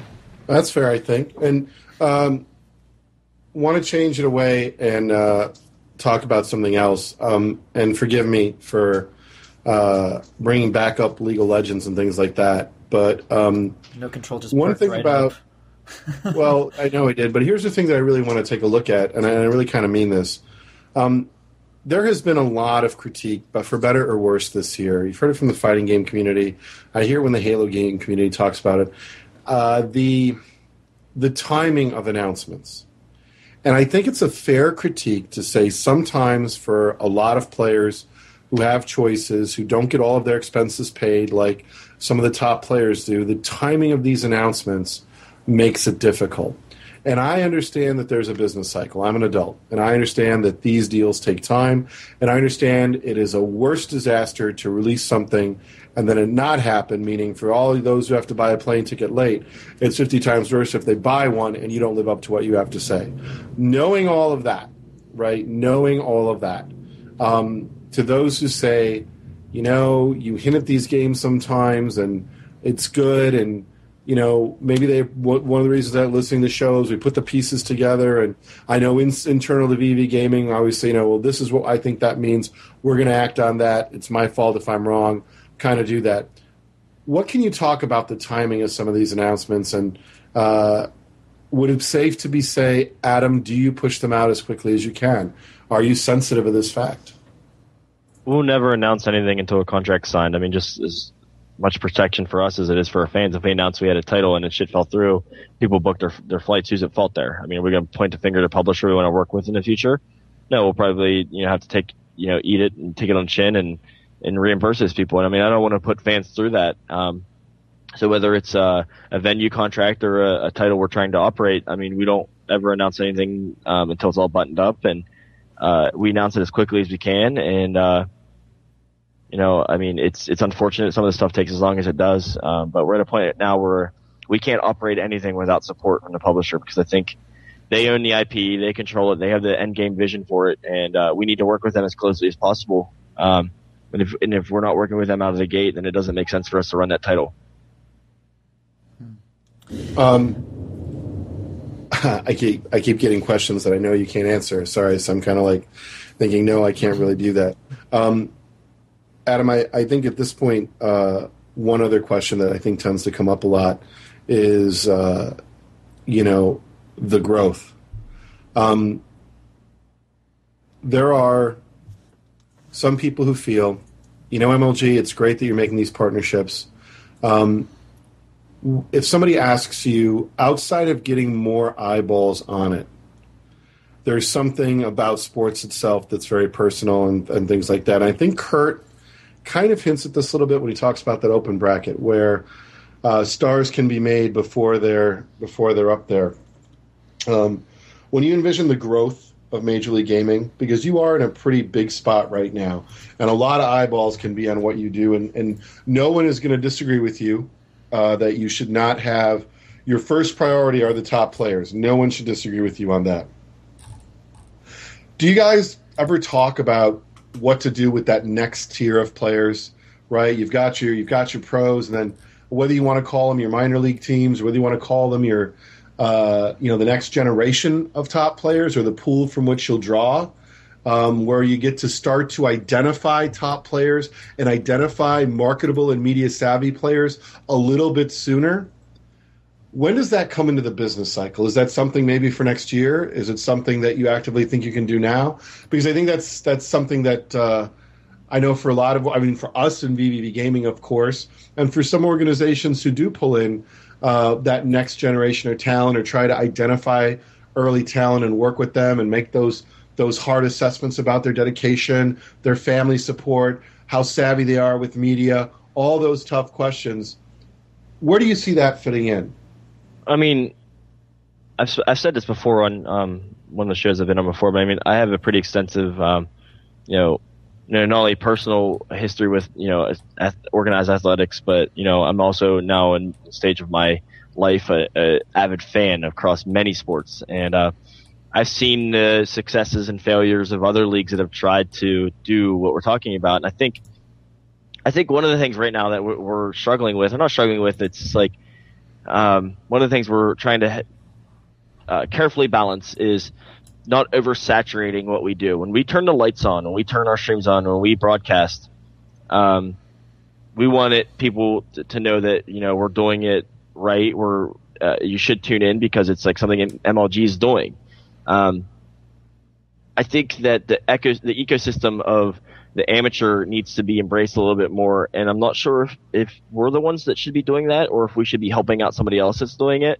But I definitely think like the NCAA of esports needs to happen. Um, but I don't necessarily know if MLG turning turning their stuff on to kind of people kind of get fatigued from us doing so much. Um, I don't know if uh, the equivalent of an NBA D League or uh, whatever else is the is the answer that we operate, but I definitely agree with you that there needs to be a better mechanism to get to building star power in a level before they get on the big stage. Yeah, I think that's really interesting. So, you know, maybe, and, uh, you know, whether it's the fighting game community or another StarCraft league or some kind of B level tournament or whatever out there, um, you know, a lot of people have the ability to throw something together and prove that it's successful and are thinking down the road. I mean, I'm sure that, uh, that, you know, and the way I read what you're saying, which I think is really uh, probably appropriate, in order to be Major League Gaming, just like Major League Baseball, you are the major leagues. You can't cloud the the brand of Major League Baseball or what it means to be in the National Football League um, with the lower tier stuff. I mean, there's a reason I think it works really well at sports, and there's a reason why the NCAA exists and why it's useful and even why it's popular. Um, although I think it would be a long time before we necessarily see it regionalized um, at the university level the way the NCAA is established. Hey, hey, Jerry, I'll be right back. Yeah, go right ahead. All right, well, Adam's going to go take care of that. Um, I want to bring NoControl back in, and uh, I want you to ask me all those questions that you couldn't ask Adam, because you brought up some interesting things in the stream, especially that you were speculating. Because I want to talk a little bit about League of Legends. Um, I want to get a feel for um, for those uh, League of Legends people that have been uh, messaging us. Uh, you said something about uh, a new hero. Can you talk to me about that? Uh, yes, there's a new hero coming out tomorrow, and uh, my speculation was that MLG was waiting, or excuse me, Riot and MLG were going to release their information at the same time, and I think Riot was trying to capitalize on releasing the new hero to MLG announcing that they're picking up League of Legends. Gotcha. So you wanted to find out if there was some some sense in that. I mean, I don't know, Right. Curt. What do you think? I mean, I'm going to just come out on the record and say I am pretty much ninety percent certain that the game he's talking about has got to be League of Legends. It has to be. Um, yeah, yeah. I mean, no, Riot it's- CEO wouldn't fly to New York City. Uh, yeah, I mean, it wasn't I going to be that. With, he- with him not here, we c- we could you know, quit be- beating around the bush. Although Jason wasn't good at that anyway. So. Hey, you know Yeah. what? You know what? Somebody has to point out. But you know what we should do when he gets back? Oh, look at that! I can't even say what I'm about to say. He's Back already. Look at that. We Sorry, guys. have wait. Oh, it's all good. So I'm in uh, uh, I'm in the office late, and uh, they came to do the cleaning or whatever, so I had to come out. someone just said that in the chat. They said there must have been a janitor that walked in, and it was so sad because that's I wasn't sure what's That's why the on lighting first. I s- the lighting's up now. Yeah, I, I saw the the beautiful New York City skyline behind you, and then all of a sudden there was this big flash of light and this reflection, and aw, it's gone. So And now everybody can start studying the reflection and say, is that a copy of Heart of the Swarm back there? Is that what I see? I can see reflecting back on the window. What box is that over there? So can, I jump back, so can I jump back into the the ecosystem? Yes. So All right, what I was so- going to say. No, no, hold on. Wait, wait. No, no. I want Adam to finish that about the ecosystem. Oh yeah, go So, ahead. Go ahead. Um, so last week, uh, last week, I tw- JP and I were talking. I was like, you know, there's gonna be a lot of crazy stuff going on in Anaheim. We're gonna need some help. Um, I'm gonna hire an assistant. You know, and it was. uh,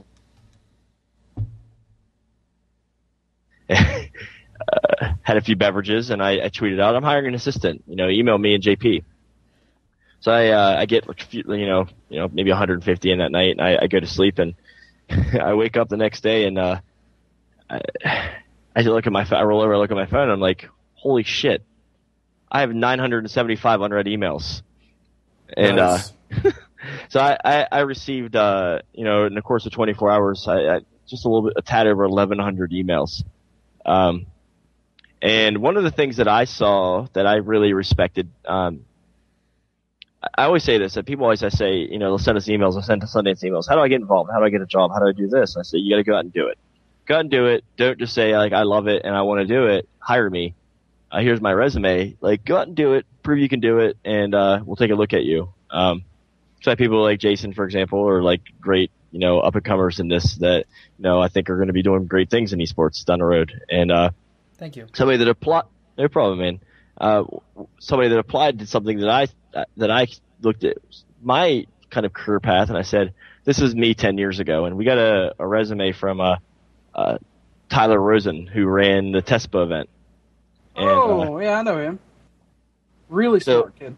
I'm bringing Tyler to Anaheim. Um, we still got to just email me back that he's available, and uh, and uh, I want to sh- along the lines of the ecosystem I was talking about. I would love to see a collegiate side of this, and uh, the the event they did with the resources they had. How could you not be blown away? But with you know these, I don't want to. I'm not saying this in a, like a derogatory way. These kids did. I mean, that was awesome. I mean, every player that went had an amazing time. The, the production value was great, and uh, uh, I definitely want to have him come out, see what we do, uh, have him learn from what we do, and I'd love to learn from him. And uh, I think people like that out there on in the scene, uh, creating this level below. Like, I'm not saying their event wasn't on par with ours. I'm just saying that you know, creating a, a an avenue where somebody can make a, a, name for themselves and compete on that level. Um, I think that's important, and I want to support it. So I think uh, you know that's one way that uh, uh, you know supporting the individuals that are out there creating these opportunities for uh, players to come up. I think is is important for MLG. So, um, yeah. You know, I think uh, I think for a lot of uh, individuals out there that think about, you know, should I put something local together? Should I cultivate StarCraft or League of Legends or whatever you love players in your area? I don't want to put words in your mouth, Adam, but I mean, I think you're saying to them, absolutely.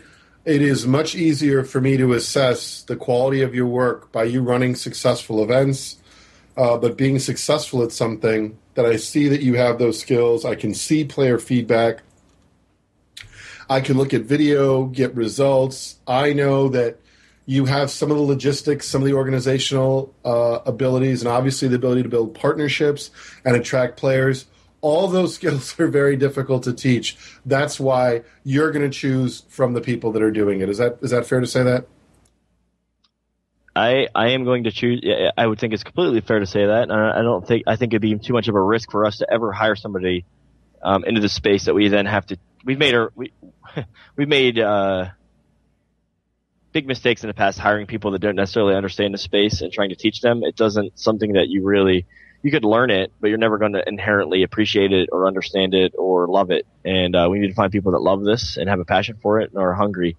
Um, as I said to Tyler, I said, "What's your motivations for coming out here?" I was like, "I look at you and I see myself ten years ago, and you know, in business, you never discount the the hungry, intelligent person out there."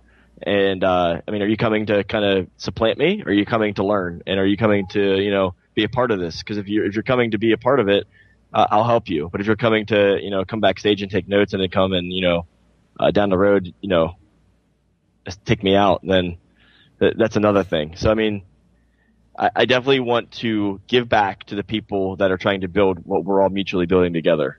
Um, and I don't think it needs to be competitive when we do that. Awesome. Jason, were you going to say something or uh, somebody else was going to ask something, I think?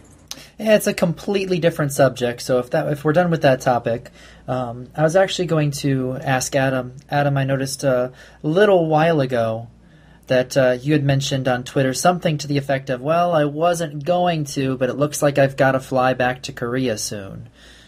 So, any reason why you're taking the trip over that you might be able to share with us? well, I can't go anymore. Um, last time I, I, needed to book my ticket, it was back up to almost ten grand. Um, yeah, I mean, uh, so I won't say that people from MLG aren't still going next week, but uh, mm-hmm. yeah, I mean, there's some stuff going on over there that we're trying to announce some more stuff for before Anaheim. Nice. Okay. So we might expect to see some sort of news coming out. Who all is going to go over that way? If you uh, might be at least let us know. Well, our glorious leaders going over, and then uh, mm-hmm. everyone's uh, favorite uh, former GotFrag guy, Lee Chen, is going as well. Um, but uh, yeah, I wasn't. I had some obligations, uh, personal obligations I couldn't attend, but stuff kind of uh, heated up to a degree, so it was kind of required that I go. But uh, like I said, uh, I might have to do a video Skype uh, for the meetings that we're talking about. Sounds good.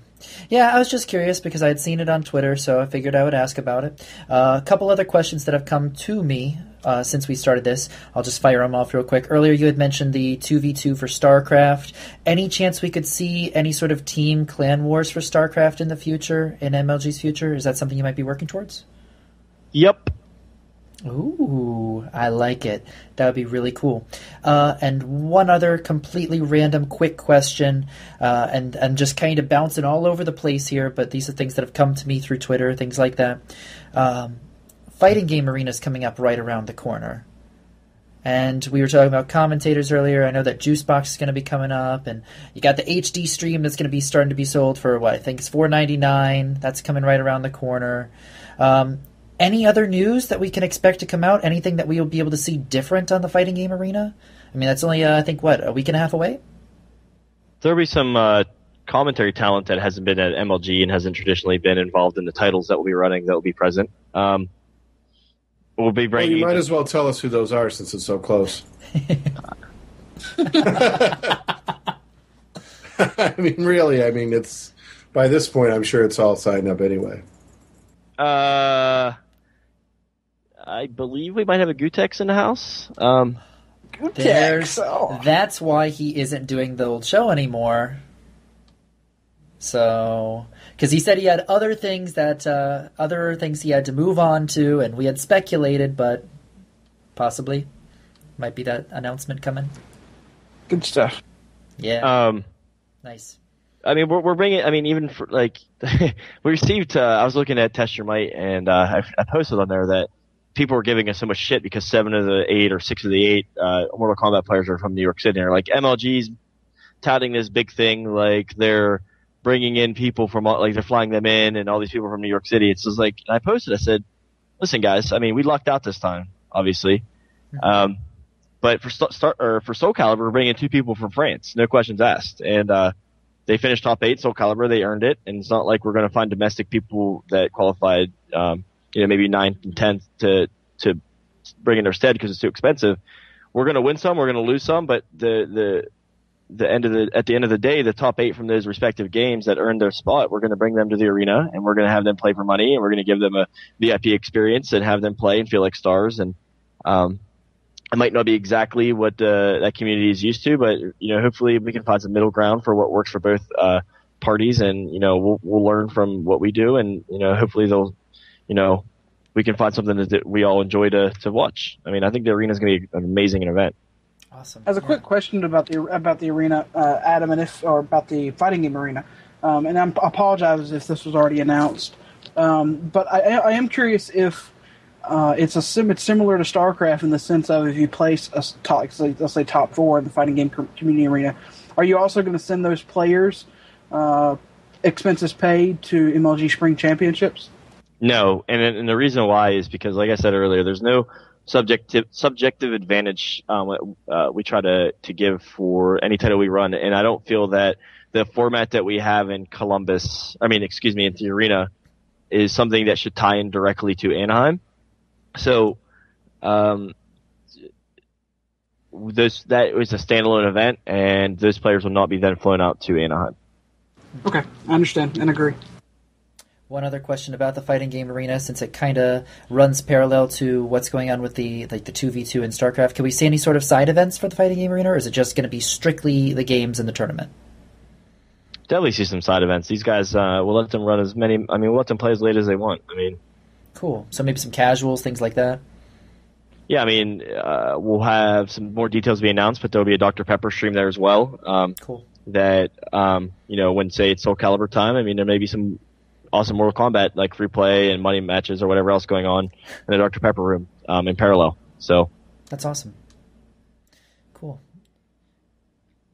I, I heard, I heard this week that, uh, Filthy Rich from Namco might be bringing himself out for this event. So, I mean, we might have a lot of, uh, you know, personalities in the room that might want to jump on the mic or just If so, you have to get him to MC again, man. He was the best MC ever. Rich was is a man. fantastic. That's really good to hear, though. That, that, that would be great. Every I mean- publisher, every publisher from the FGC community that's working with us right now is really excited about what we're doing together, and uh, they're really supportive. And uh, like I said, we can't uh, we're not where we want to be yet, and uh, we still have a lot to prove with the community, and we recognize that, and we don't want to screw it up. And the publishers that are working with us definitely want to help us not screw it up. And uh, we're listening to the communities, we're listening to the players, we're listening to um, talking to. Um, I don't want to put them on a spot because of, you know I don't want to uh, marry marry them to what's the, the dirty term in the fighting games community, the esports community. But there's some TOs out there that in the fighting games community that I exchange emails with, you know, on a weekly basis that are are helping us out and giving us, giving us advice and telling us what to do and what not to do, and um, we'll get there, and we're we're trying. I mean, that's really great to hear. I mean, Yeah, it's ju- about time that. I mean, wouldn't you agree, Curt? I mean, I, if I were a tournament organizer right now in the fighting game community, I would realize that uh, there is a great opportunity to work in a positive way with Major League Gaming. Which you know, the thing that's always got me is this idea of fear and competition. Get rid of it. Just get rid of that and work together. And I think, it, and this isn't feel good stuff. This is like just good business it's good Yeah. business to, to do those kind of things. So, I mean, it's really encouraging to hear that some local tournament organizers are reaching out in a positive way, supportive of what you're doing, because uh, that's going to help you too, also. I mean, down the line. I think you're going to be able to, uh, you know, one, you're already reaping some of their knowledge benefits because of, of the advice And I think you. and I think Revelations is around the same time that uh, MLG Anaheim is too, if I if I'm not mistaken. So And I think it a- just got announced. Um, the it, it's it's it's it's hard to um, constantly have to do have this battle because it's, I, saw some conversation today where it's even MLG's doesn't care about the community and they're just coming in trying to take it over. And I I would just I would love an example of what we're trying to take over, like what we're trying to do that's so malicious. Um, we're just trying to run great events, and I feel like if we put these guys on a stage and make them into help help make them into the bigger stars um, by putting more eyeballs on them, because the guys that are going to be stars have deserve deserve it. Obviously, we're just putting them in front of more people. I feel like that's going to benefit every other event out there. Like we're going to make, they're going to have a bigger draw or more attention because this player now goes to their event and they've had more exposure through, via MLG and our distribution partners. It's not like we're trying to own their event or do anything malicious to them. It's, I think, I, I really truly view this as a collaborative effort to build this community and uh, I wish it would stop being so adversarial. I just don't get it. speaking of, but you were talking about publishers that are working with you. I have to sort of poke that elephant in the room again. Any updates at all by chance with Capcom? No. Okay. Sad. But uh, One other question any updates uh, about Valve? Uh, are you asking a question or are you just looking for a general uh, update? Uh, well, I mean, I think I'm at, a lot of people are talking about Dota 2. A lot of people are talking about uh, Counter Strike Go. I mean, they're talking about those There's games. no- and There's no sense of talking about Dota 2 though when he just talked about LOL. yeah, every game- well, he didn't. Every every game that's coming out. I didn't talk about LOL. Let's not say that I did. I uh, Okay. Since since we concluded we concluded that LOL would would probably be a title, uh, I don't think that Dota 2 would be a title on top of that. so I, I'll say this: every every title that the community is anticipating coming out um, in the next calendar year, uh, we are talking to their publisher right now. Except CS:GO. Not talking to them at all. Well, I mean, I said, I mean, Sundance has told us this before. He said, "We, you know, we're not, we're not.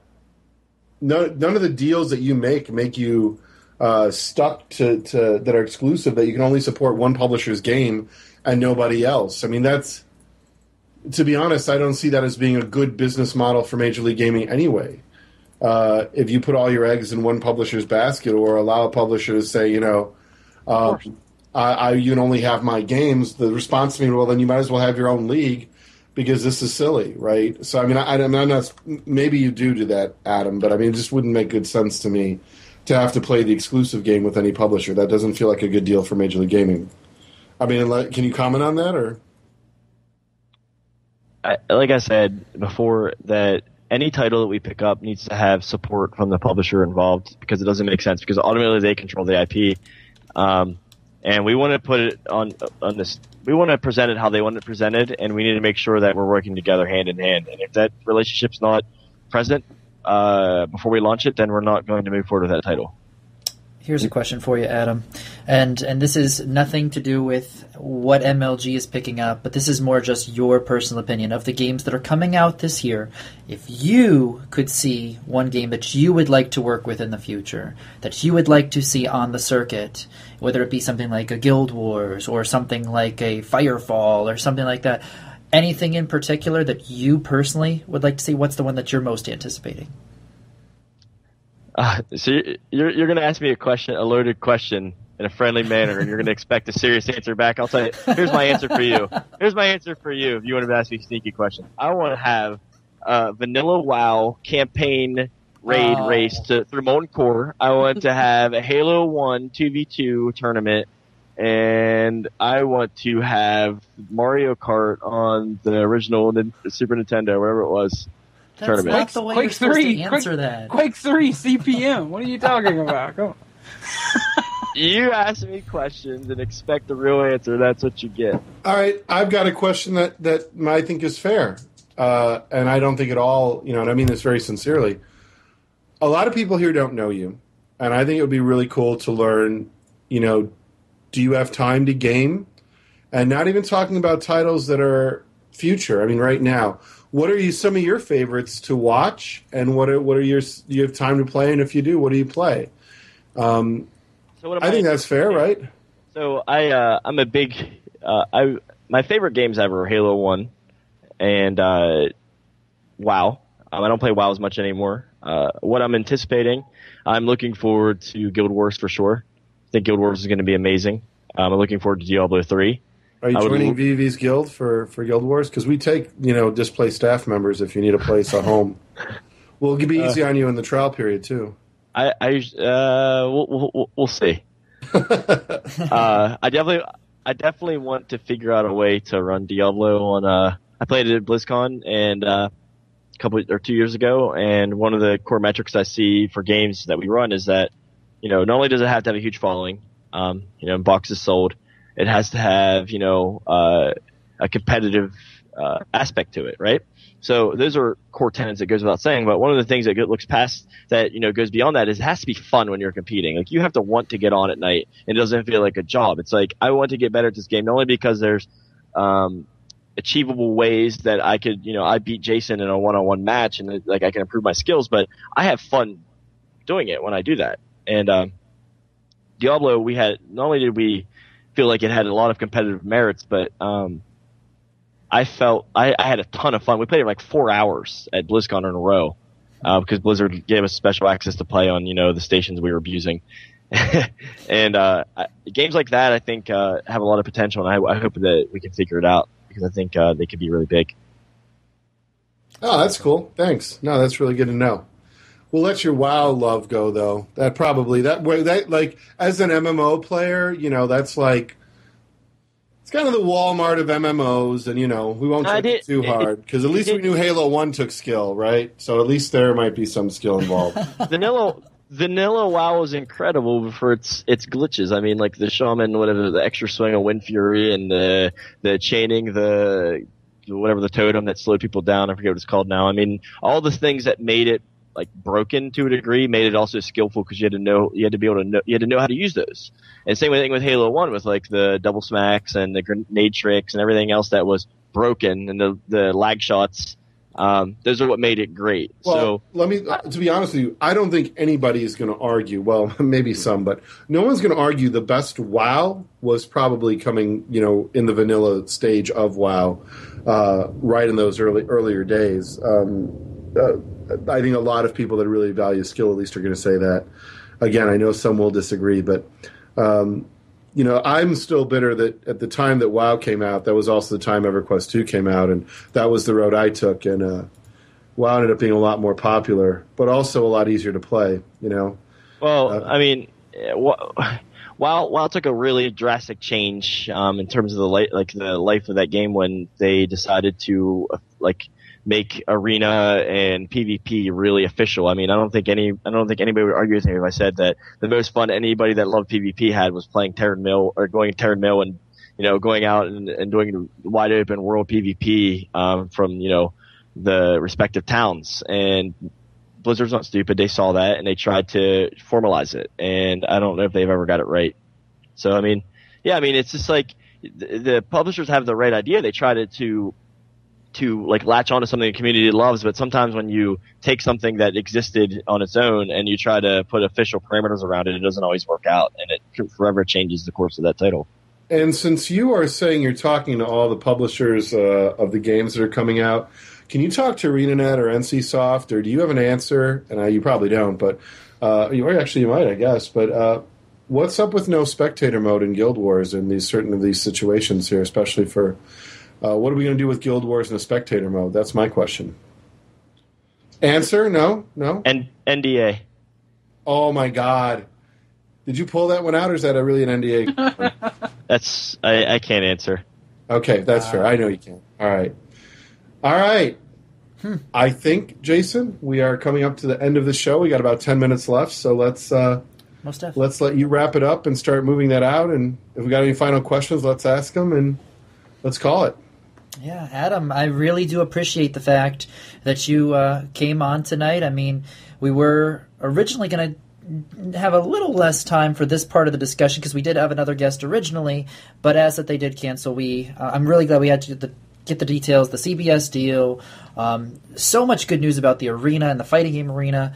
Really huge thank you to you for taking some time out of your night, especially with all this big news, to come and share some of these details with us uh, before you do head out. Any other things that you'd like to say? Any other leaks you want to give us, or, or any shout outs?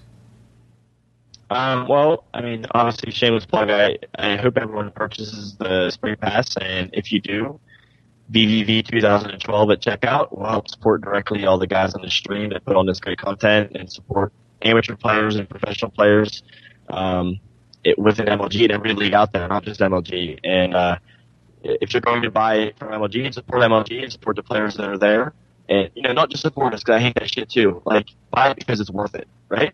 But if you're going to buy it, support VVV when you do it.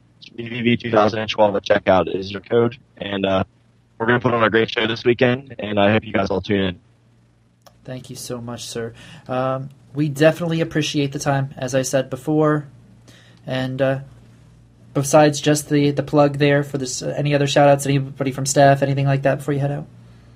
I uh, really excited to see all the guys coming in. Um, I, whether whatever league they're playing in, uh, we've kind of we've grown close to all the players, whether regardless of titles. So I'm excited to see the players that are flying in to compete, and I hope they do really well. And I'm really excited to see my friends from Korea, the you know, from on Artosis to Hawaii, um, to you know Marcus, to anybody, JP, Rob Simpson, uh, Grubby, all these guys coming in. It's going to be an amazing show, and I'm excited to see the friends that I've made. And you know, we, we look forward to these weekends and an incredible amount of work, but I think it's worth it. And I, like I said, I hope you guys tune in and see us do it. And I appreciate you having me on, guys. Oh, anytime, dude. Here's hoping that uh, when we do get some of these other big announcements that you say are forthcoming, that we can uh, get you or someone else from your staff back on the show so we can continue talking about these awesome moves that you are making in the world that we know and love that is esports. Adam Apicella, you're a great man. We appreciate all the hard work that you do for us in the field that we love. Appreciate your time, sir. Thank you for stopping by. Can we say hi to the best gamer on campus, Detached Charles, uh, in chat that's texting me and hitting us on Twitter and supporting us, and uh, one of our longtime employees. Let's all say hi to Detach. Hey, what's going oh, on? well, hello. There's the shout out. Make him famous, right? Oh, Detach is famous in his own Detach right, so. What games? What game does he play? Detach plays everything. He's, if you don't know Detach, you don't know that he's probably the best player every title he runs. And Check Six is indeed still banned. So I'll, I'll let you guys go. Will, will About we ever, VVV? Are they still banned? Hold on, say, hold on. can I get Wait forgiven for that verbal slip last week at least? Because you know I would never want to compare anybody to Curt, so I apologize for that. Like formally apologize. Hold on. For those for those that don't know, though, when Adam was talking about how he got 1,200 emails from applicants, I did uh, be sure to put my name in the hat and just send him an email with a nice little poem. It was uh, it was fantastic. I And know when you What's that poem, Curt? And when I read it in my head, I, I read it with that deep Kentucky accent, so that you know, really. you hear that accent more often than not. I know a So lot of people. it, from North it was Carolina. just as undecipherable when I read it in my own head as it is when he's on the podcast. you guys should have subtitles actually for Curt on this. Oh God. Oh. Yeah, we'd put subtitles on the show, and it would be Babble, Babble, Babble, Counter Strike Go, Babble, Babble, Babble, Counter Strike, Babble, Babble. I like Tekken. That's the whole fucking thing. Would be done. Uh, where's the whole extent of it? Where's this Oh. poem? Let me find it. I, rem- I think I remember it. It was. Uh, I got it right here. Hold on. all right. Check out, check out the pro Roses, Microsoft app. roses are red, violets are blue. I am banned from MLG, and VVV is now too. Have a fun day. I know you enjoyed that, buddy. I know you did. I know. Oh, that's But- awesome. Yeah, Adam, we really appreciate you on the show, buddy. Um, I am sure we're going to have you back on soon so you can pick on me more and uh, all that good stuff. Adam, it's eleven o'clock in New York City where you're at. It's way past uh, way past the time that I feel good about even having you stay. Thank you so much. We're gonna let you go. Have a good night, Adam. I'm the last person here, fellas. I'm going to walk home to my hotel. So I'll One more thing though, Adam. Again, congratulations. Seriously, thank you. Thanks, guys. I mean, honestly, congratulations everybody because it's, it's going to be good for everyone in this space. So it's not something MLG's hoarding for themselves. Everyone's going to benefit. So thanks for having me on. Hope you tune in and uh, have a great night, everyone. Take care, Adam. Take care, Adam.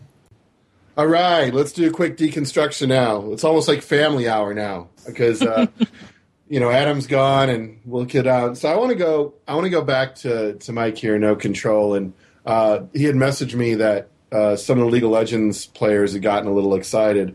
Um, so I'm just going to tell Mike, you know, on the show that uh, he should probably get our team ready for any kind of open qualifier and start looking.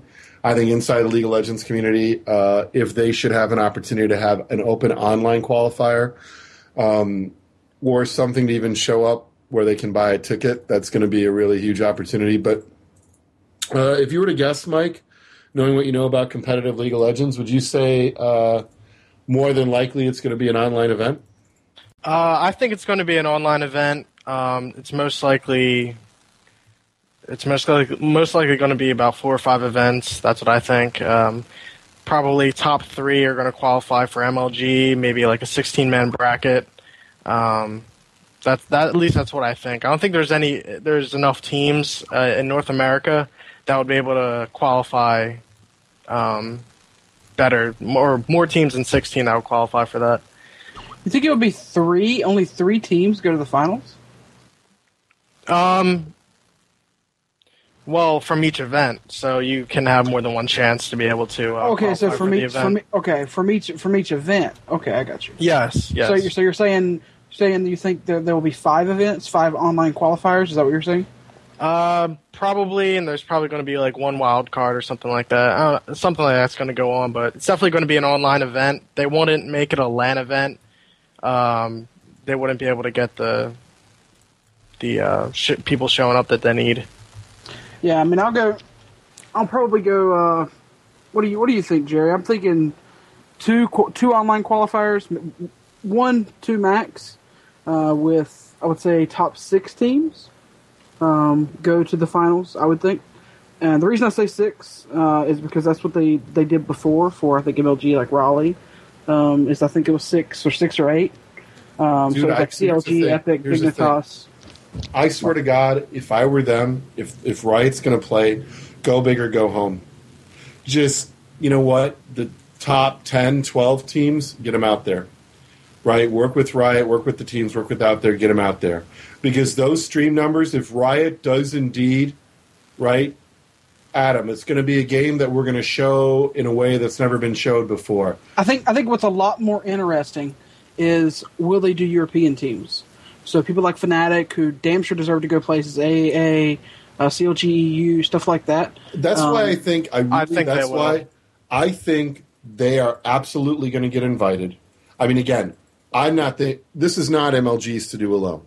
If I'm right, I'm going to want the the teams that are most recognized out there, and let's get those up and comers out there. Right, let's start to build that. You know, get even, and I do even get the Moscow Fives out there. Right, get teams out Um, there that Moscow have done Five well. deserves it. Yeah, I mean, Right. Get the Um, teams out there that have done well, have proven themselves on the international stage. Get them out there. I mean, I don't see any reason not to. Right? The And- only reason the only reason I would say ten or twelve might be much, and you could be right, but you got to look at the fact that they're going to increase the SC two open bracket size. They're also going to have, from the way that we understand it from this, and this is just uh, sort of guesses, they're also going to have open computers for people to play whatever quote unquote unreleased game, quote unquote, quote unquote, quote quote, uh, for people to play as spectators there. And I think he said there was a 200 computer setup for that. Yes. Um, that's going to be a lot of computers if you had 12 League of Legends teams on top of that, the entire SC2 bracket and the uh, quote unquote, quote unquote, announced beta, quote unquote. you know, so that is a lot of people. Um, but that being said, I would love to see them be the- them be that many teams. Uh, I don't think there's been in a competition with that many teams. Has there? No control. You would know better than me. A really a really popular competition at least. IEM was only like what six.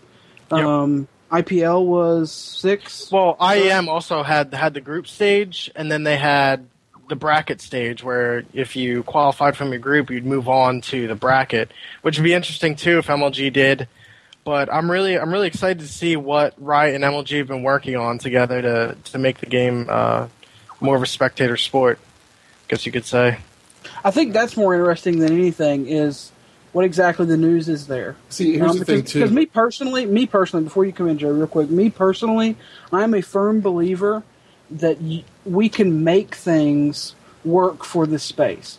We don't have to completely scrap a game because of it because it lasts 35, 45 minutes, um, or as long as an hour. Um, I don't. I don't think it's necessarily that, that League of Legends as a regular um title, which uh, would be what is it called? What's the main map called? No control. Summoner's Rift. Summoner's Rift. I don't think Summoner's Rift needs to be completely scrapped, all because it's a little bit hard to run commercials in between like that. I think IPL did a good thing when they had certain, a lot like the SC2 things, they've got logos in the bottom right corner, sort of, you know, uh, still hitting the sponsors and stuff like that, running some ads in between certain things. Um, I think it can still be done. What they said about Dominion before, though, is that uh, Dominion's not really.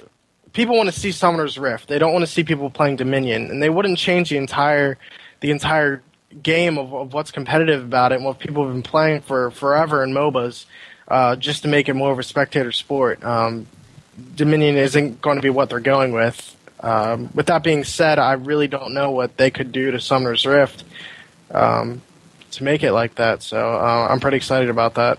I still think Yeah, it'll be interesting. It'll be interesting to see. I still think it'd be really cool to do both. To be totally honest, to have Summoner's Rift, to have Dominion, just like they do multiple game types in, like let's say a first-person shooter uh, or other games of that nature, to actually go back and forth between two to showcase the different strategy involved. Will that ever happen? Uh, that's to be decided.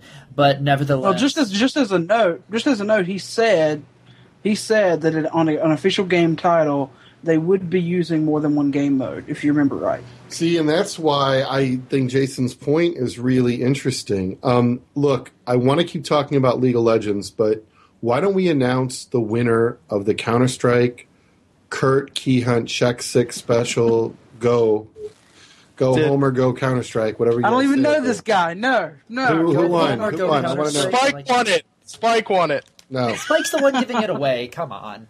No, Uh, really, let's shout go. out to VVV Spike for giving us this key so that we could give it away. Uh, but the winner for actually tweeting, uh, the rules again were that they had to tweet at Losers Bracket in the tweet somewhere and a link to the show. Uh, but we did pick a random winner, and the name of the winner is Julius Victor, who goes by at R Realistic on Twitter. So we would like to give you a free CSGO beta key.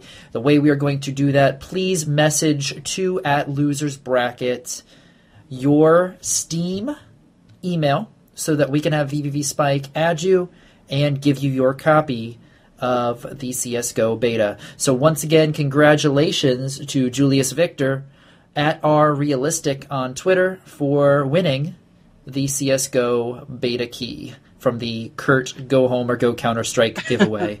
And just and just as a note, because it we wouldn't be uh, a show if I didn't mention Counter Strike. Um, there's a lot of people that have messaged me during the Adam interview, wanted me to bring up Counter Strike. Uh, the dual network in the chat was arguing with some guys about Counter Strike. Look, dude, I absolutely love the fact that you are a CS supporter. You know I am, but you got to understand. You, you have to understand what the whole point is. Is that MLG has said multiple times, and IPL for that matter, they're not going to support it without Valve paying them. Now that, that's the end of the discussion. Of course, they didn't come out right and say that, but that's that's how it works. So we as a community, if we want to do that, need to be pushing for them to stop running these independent events like they're doing for the Dota International and start giving their money to people like MLG and IPL to run their events.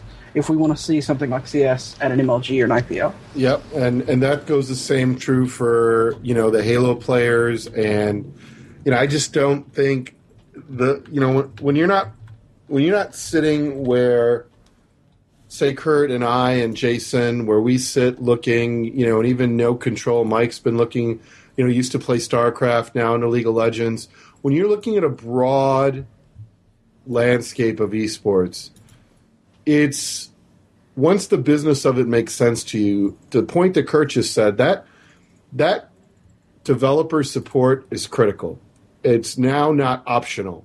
There's no, um, oh, you know, I really hope that Epic will patch Gears of War. No, no, no. It's not going on the circuit unless it's uh, a signed done deal that it's ready to go.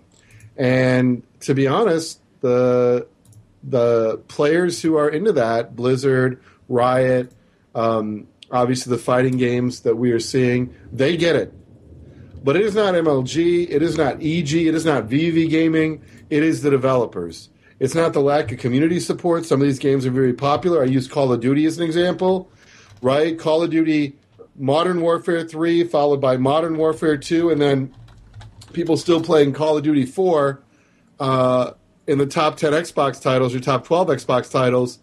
Even, and, and Activision is part of Blizzard, even they don't play well and their game doesn't end up on there. If you're going to go by the numbers, the number one game that should be on the 360 without question is Call of Duty. The numbers are overwhelming. It's got three different communities, but if Activision isn't going to play and isn't going to create the right game, it's dead on arrival. Hmm. And are those Halo players who argue, or the again, three four three doesn't support it, doesn't go in when Halo Four drops November sixth? If there isn't at least two months ahead of time that MLG and three four three are long and MLG gets what it wants, it's just not big enough compared to the international, and this is the part that a lot of players forget. We're talking about internationally the number of eyes on a StarCraft match, the number of eyes on a League of Legends match is pretty overwhelming. Well, you just need to. Uh, another thing is people need to read the line, read between the lines too. When you hear support, support does not always mean what you immediately think it to mean, as far as uh, supporting and putting in a good spectator mode.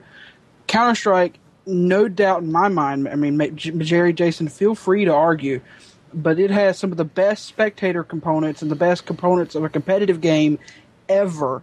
Even the new CS:GO we haven't even seen yet. We, we are sure fairly will, considering they're going to be using a lot of the Dota 2 elements. No one's um, gonna no one's gonna argue that Counter Strike. But that yeah, have, look, exactly Counter Strike sets Counter Strike without question set the stage, and I think we often underestimated how successful and important the spectatability of Counter Strike 1.6 and even into Source was. We, I think a lot of people overlooked that. I know when I started back in 2007, um, the game was dated. I had written it off. But if there is one reason when sometimes people go, "Oh, you hate," Counter, I don't hate anything right? I mean, I'm joking a lot of times, but what you said, Curt, is really true. Counter Strike, part of their success was that. And I want to throw something out there that, you know, we're talking about spectatability. League of Legends is really spectatable. And then here's a thing that uh, someone a little bit smarter than me mentioned to get me to get it start thinking said, you know, um, do you think it's possible? And I'm going to ask NoControl first, then Curt, you can come in and Jason. But do you think it's possible that League of Legends Riot, one of the things they could do is because you, you, you know you mentioned uh, Mike that they kind of delayed releasing Heroes, and I started thinking about wow, you know they got this entire microtransaction system inside League of Legends. You know, wouldn't it be really cool if there were certain heroes or, or things associated with certain teams. I mean, they reskin all those things.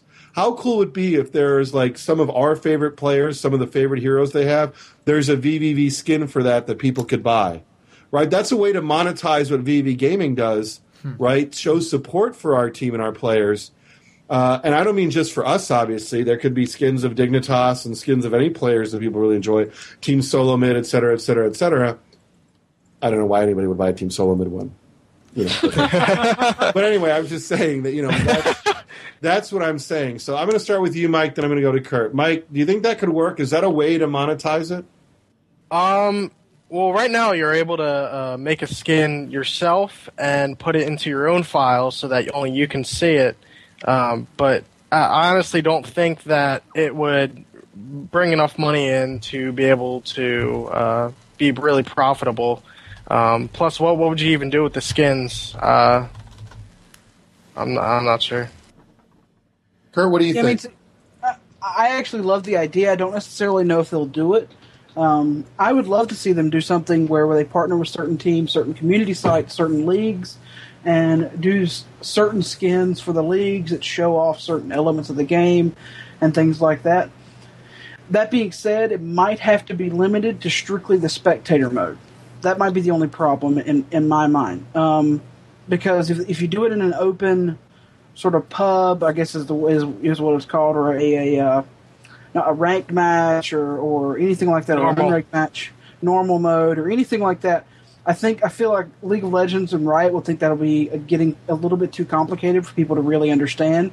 And one of their biggest things is they want it to be a quote unquote noob friendly you know game when you first open it up. They want it to be acceptable for people that have never seen it before. So it'd have to be something that would be strictly to the competition realm strictly that was uh, for tournaments. I do see them doing that because it, and it took a long time for CS to do this, but CS is one of the, as far as I know of, one of the only people that really did this. Is they skinned overlaid the um, models for the counter terrorists and the terrorists. And you see this with IEM. IEM did it by putting a big IEM logo on the terrorist back and the counter terrorist back.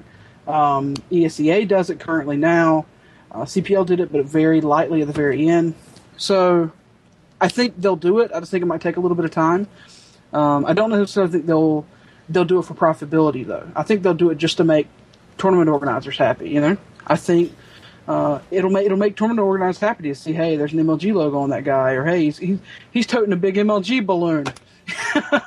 you know, uh, or hey, Rise is hitting that guy with a noisemaker. What's going on? You know, I mean, it'll, it'll be something interesting. Uh, I don't necessarily think they'll do it immediately. But I'd love to see something like that. Um, let me add to this a little bit. I mean, Riot already does skins that you can only get for doing certain things. Say, for example, I'm playing as Nasus and I'm using my Riot skin, the, the, Riot skin that you get for going to events. I mean, you had to go to like an MLG or, or some sort of LAN event to get the code to get that skin, right? Um, there is no reason that they couldn't do something like this for, say, teams or events or things like that, and have it put out as a way to monetize. Because I will tell you what, people buy skins. You know, it's crazy to think about it, but you know, 10 $15 just to, to make your character look a little different. Every little bit counts too.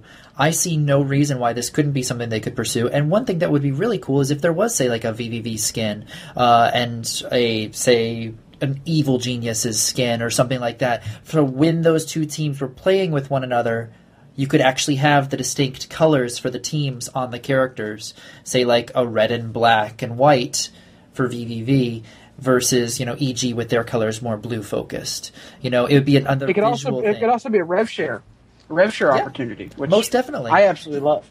Yeah, um, why not? For every person that buys a VVV League of Legends skin for a character, uh, League of Le- you know, we get ten percent of that. You know, so we can promote, hey, purchase our skins this week. I mean, honestly, there's a lot that they could do with that, and you know, it's an open I think potential yeah. for revenue stream. I think I think that whole See, I think that whole model is very very new. I mean, that whole thing, the you buy, and it might not be necessarily be 100% new. Ten years ago, it was happening, but still, you understand what I mean. I think now with the boom, I think that is new. I think that is that whole thing is new, and they're really looking at ideas to to figure out ways to push it forward. Um, so I think I think anything is open to opportunity later down the road, um, which is also why I think people that say uh, SC2 has a much better, and I don't mean, and it, I, I, would say it, you know, it definitely has uh, a great chance, but a lot of people are saying the SC2 has a leaps and bounds uh, better uh, mainstream focus like, that it has, that, that mainstream uh, audience will actually be able to watch SC2 a lot easier than LOL. I disagree, and we talked about this before the before the show, Jerry. And I mean, it's I disagree with that whole aspect. I think LOL has a lot of room. Yeah, we'll talk about this. I think we need to get catch our audience up just to be clear what we're talking about. Um, someone had mentioned that StarCraft was basically easier to spectate than League of Legends. And both Curtin and I deeply disagree with that position. I think that, uh, you know, watching both, I think it's very easy to, uh, you know, I don't know what to say, but get into to understand League of Legends. I made a comparison earlier today, and some people may disagree with it, but the tempo of League of Legends is very similar to, let's say, soccer, uh, where there's these high intense moments where somebody's going to score a goal.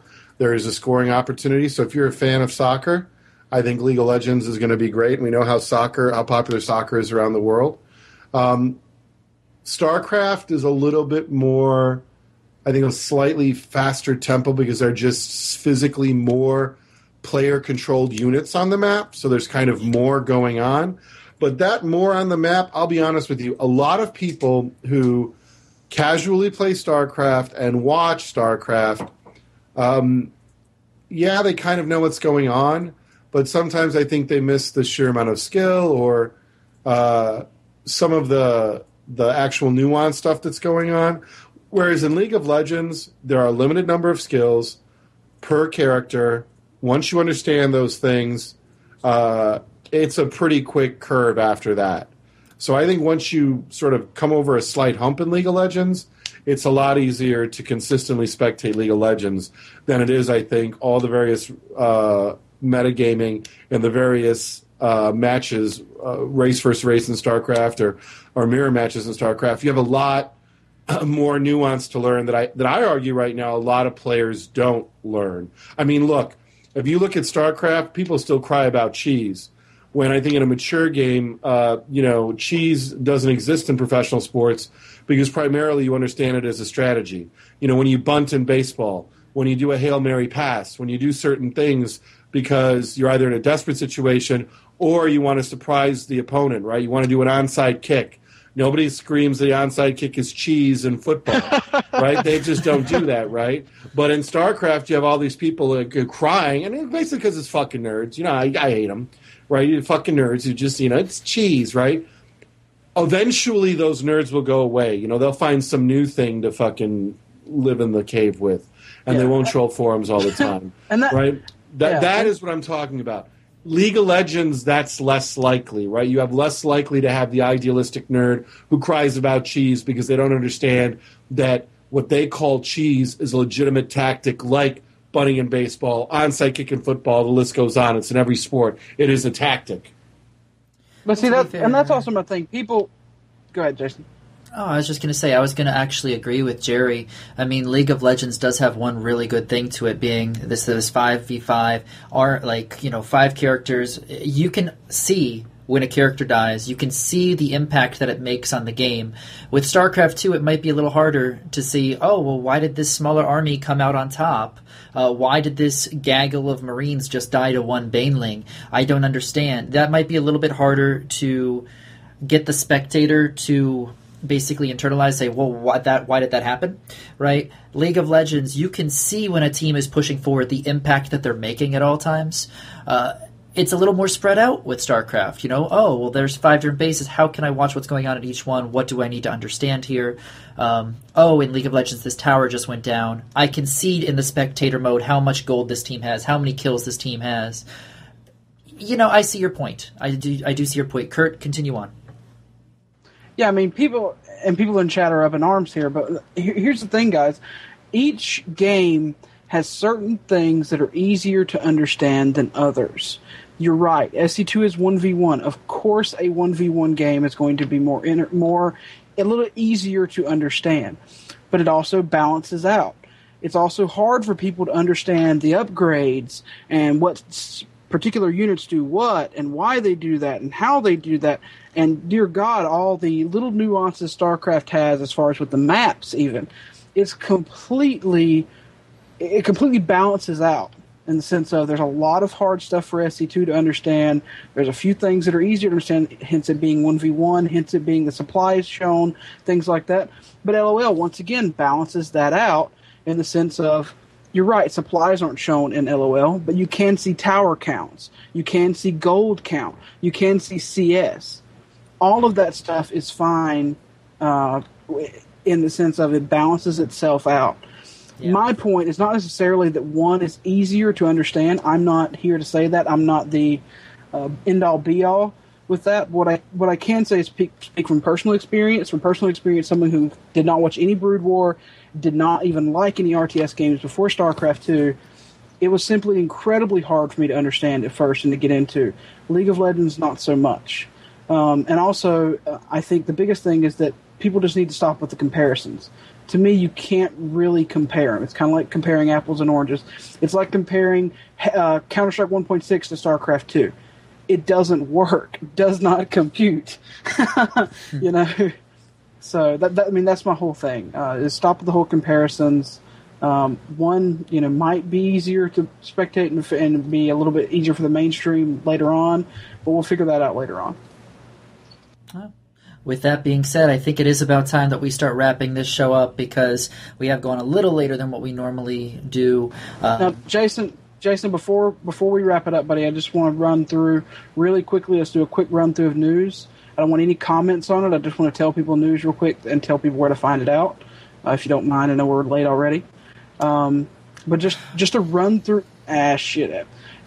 just a no, run listen, through. I got to call it. Let's wrap it up. So I got to go to bed. So yeah, Curt. Oh, yeah, it's two and a half hours in. Whiny Get little baby. That's right. I got my I have personal trainer in the morning. I get my eight hours. I got a good workout coming up.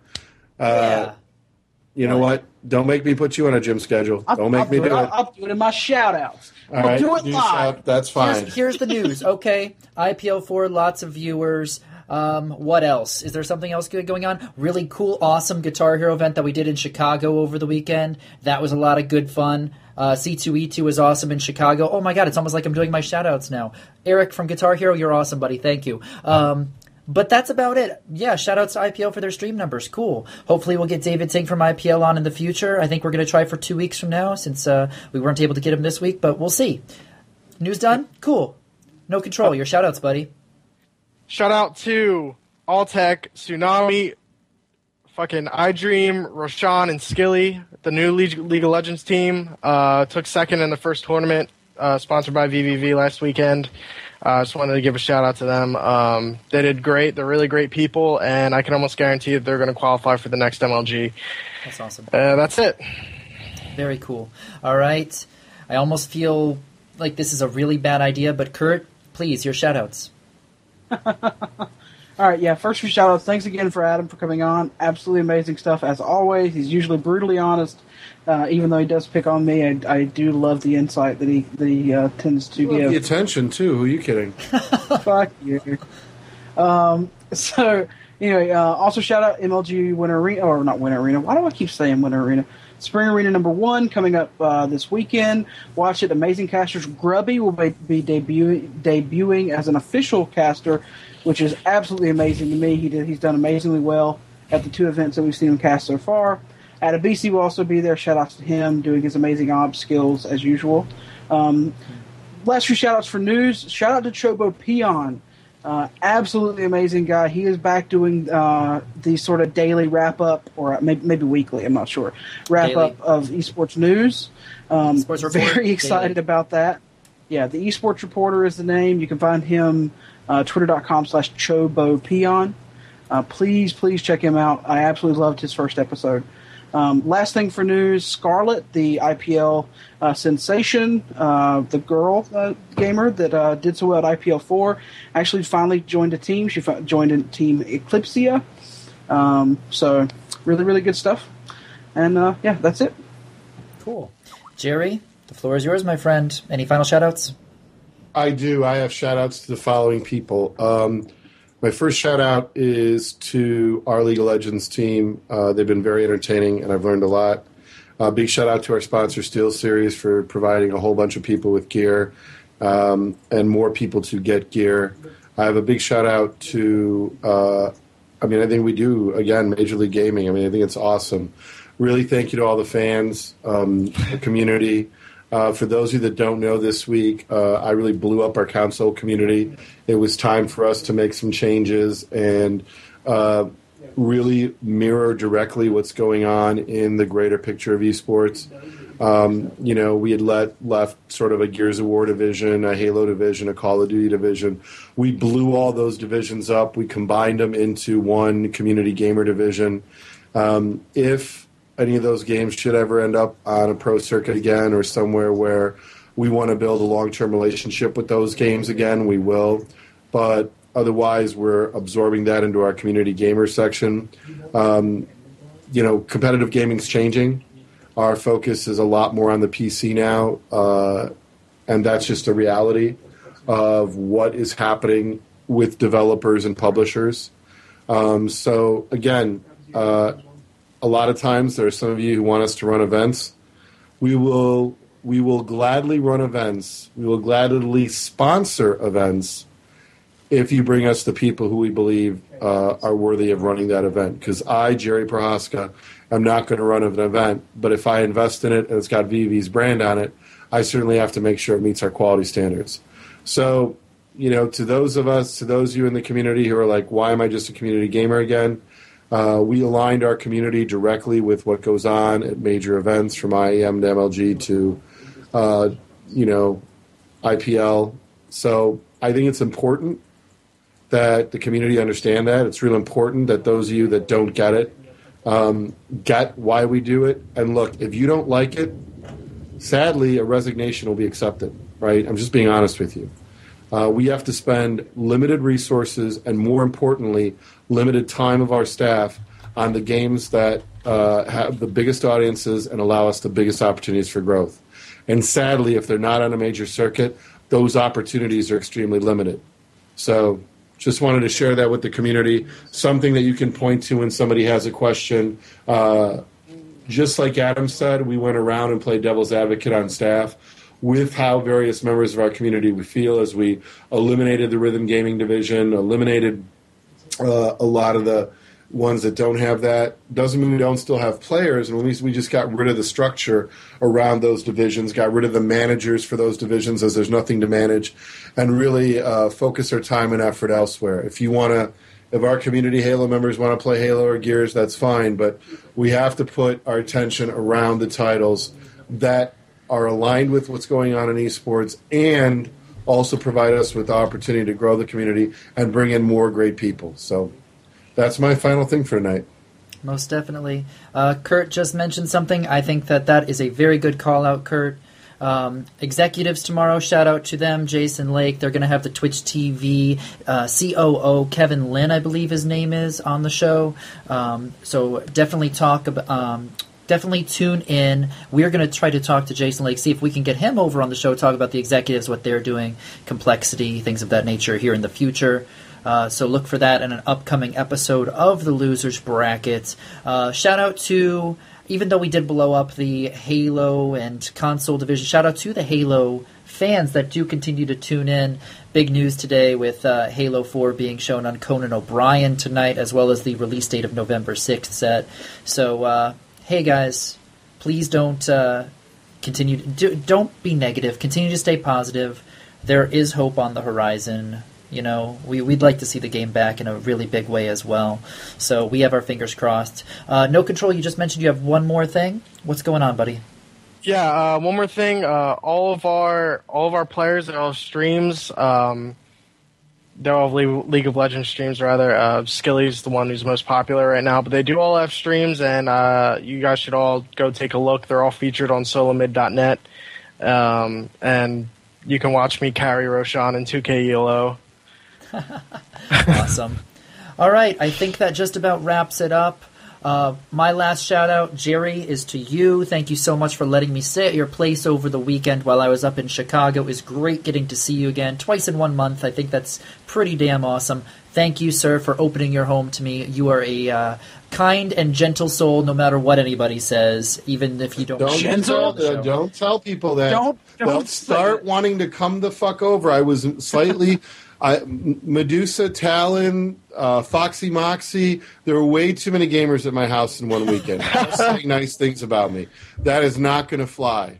Okay, right? I'll shut So, up. That's it. Fuck Halo. There, that'll get some Oh, fucking hate. shout out fuck to Halo. Spike. Fuck all you motherfuckers, and you're whining about your fucking game. I hope it doesn't end up on the circuit for the rest of the year. Go fucking kill yourself. Why don't your whole fucking Halo division resign in mass? Kill your fucking self. See? Now I feel better about myself. Thank Don't you rant for- my ass, you liar.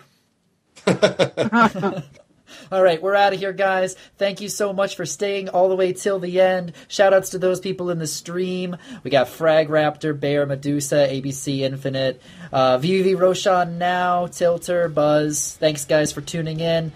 We had an awesome show. Thank you to Adam again, and we'll be back next week, same time as always.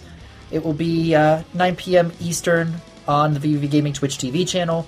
Shout outs to our sponsors, KontrolFreek, Steel Series, Gamer Grub. You guys are awesome. Shout out to Powerglove for giving us the music you hear on the show. If you have any feedback, paradise at vvv-gaming.com or our Twitters right down here at the bottom of the screen. You've seen them all episode. Um, you are special, NoControl. What the hell is your problem? All right, guys, have a great week. We'll see you back here next Tuesday night. Have a great weekend. Enjoy some gaming. Enjoy the next arena this weekend. Make sure to buy your pass. VVV 2012 is the referral code. Until next week, take care, guys. See you soon. Bye bye.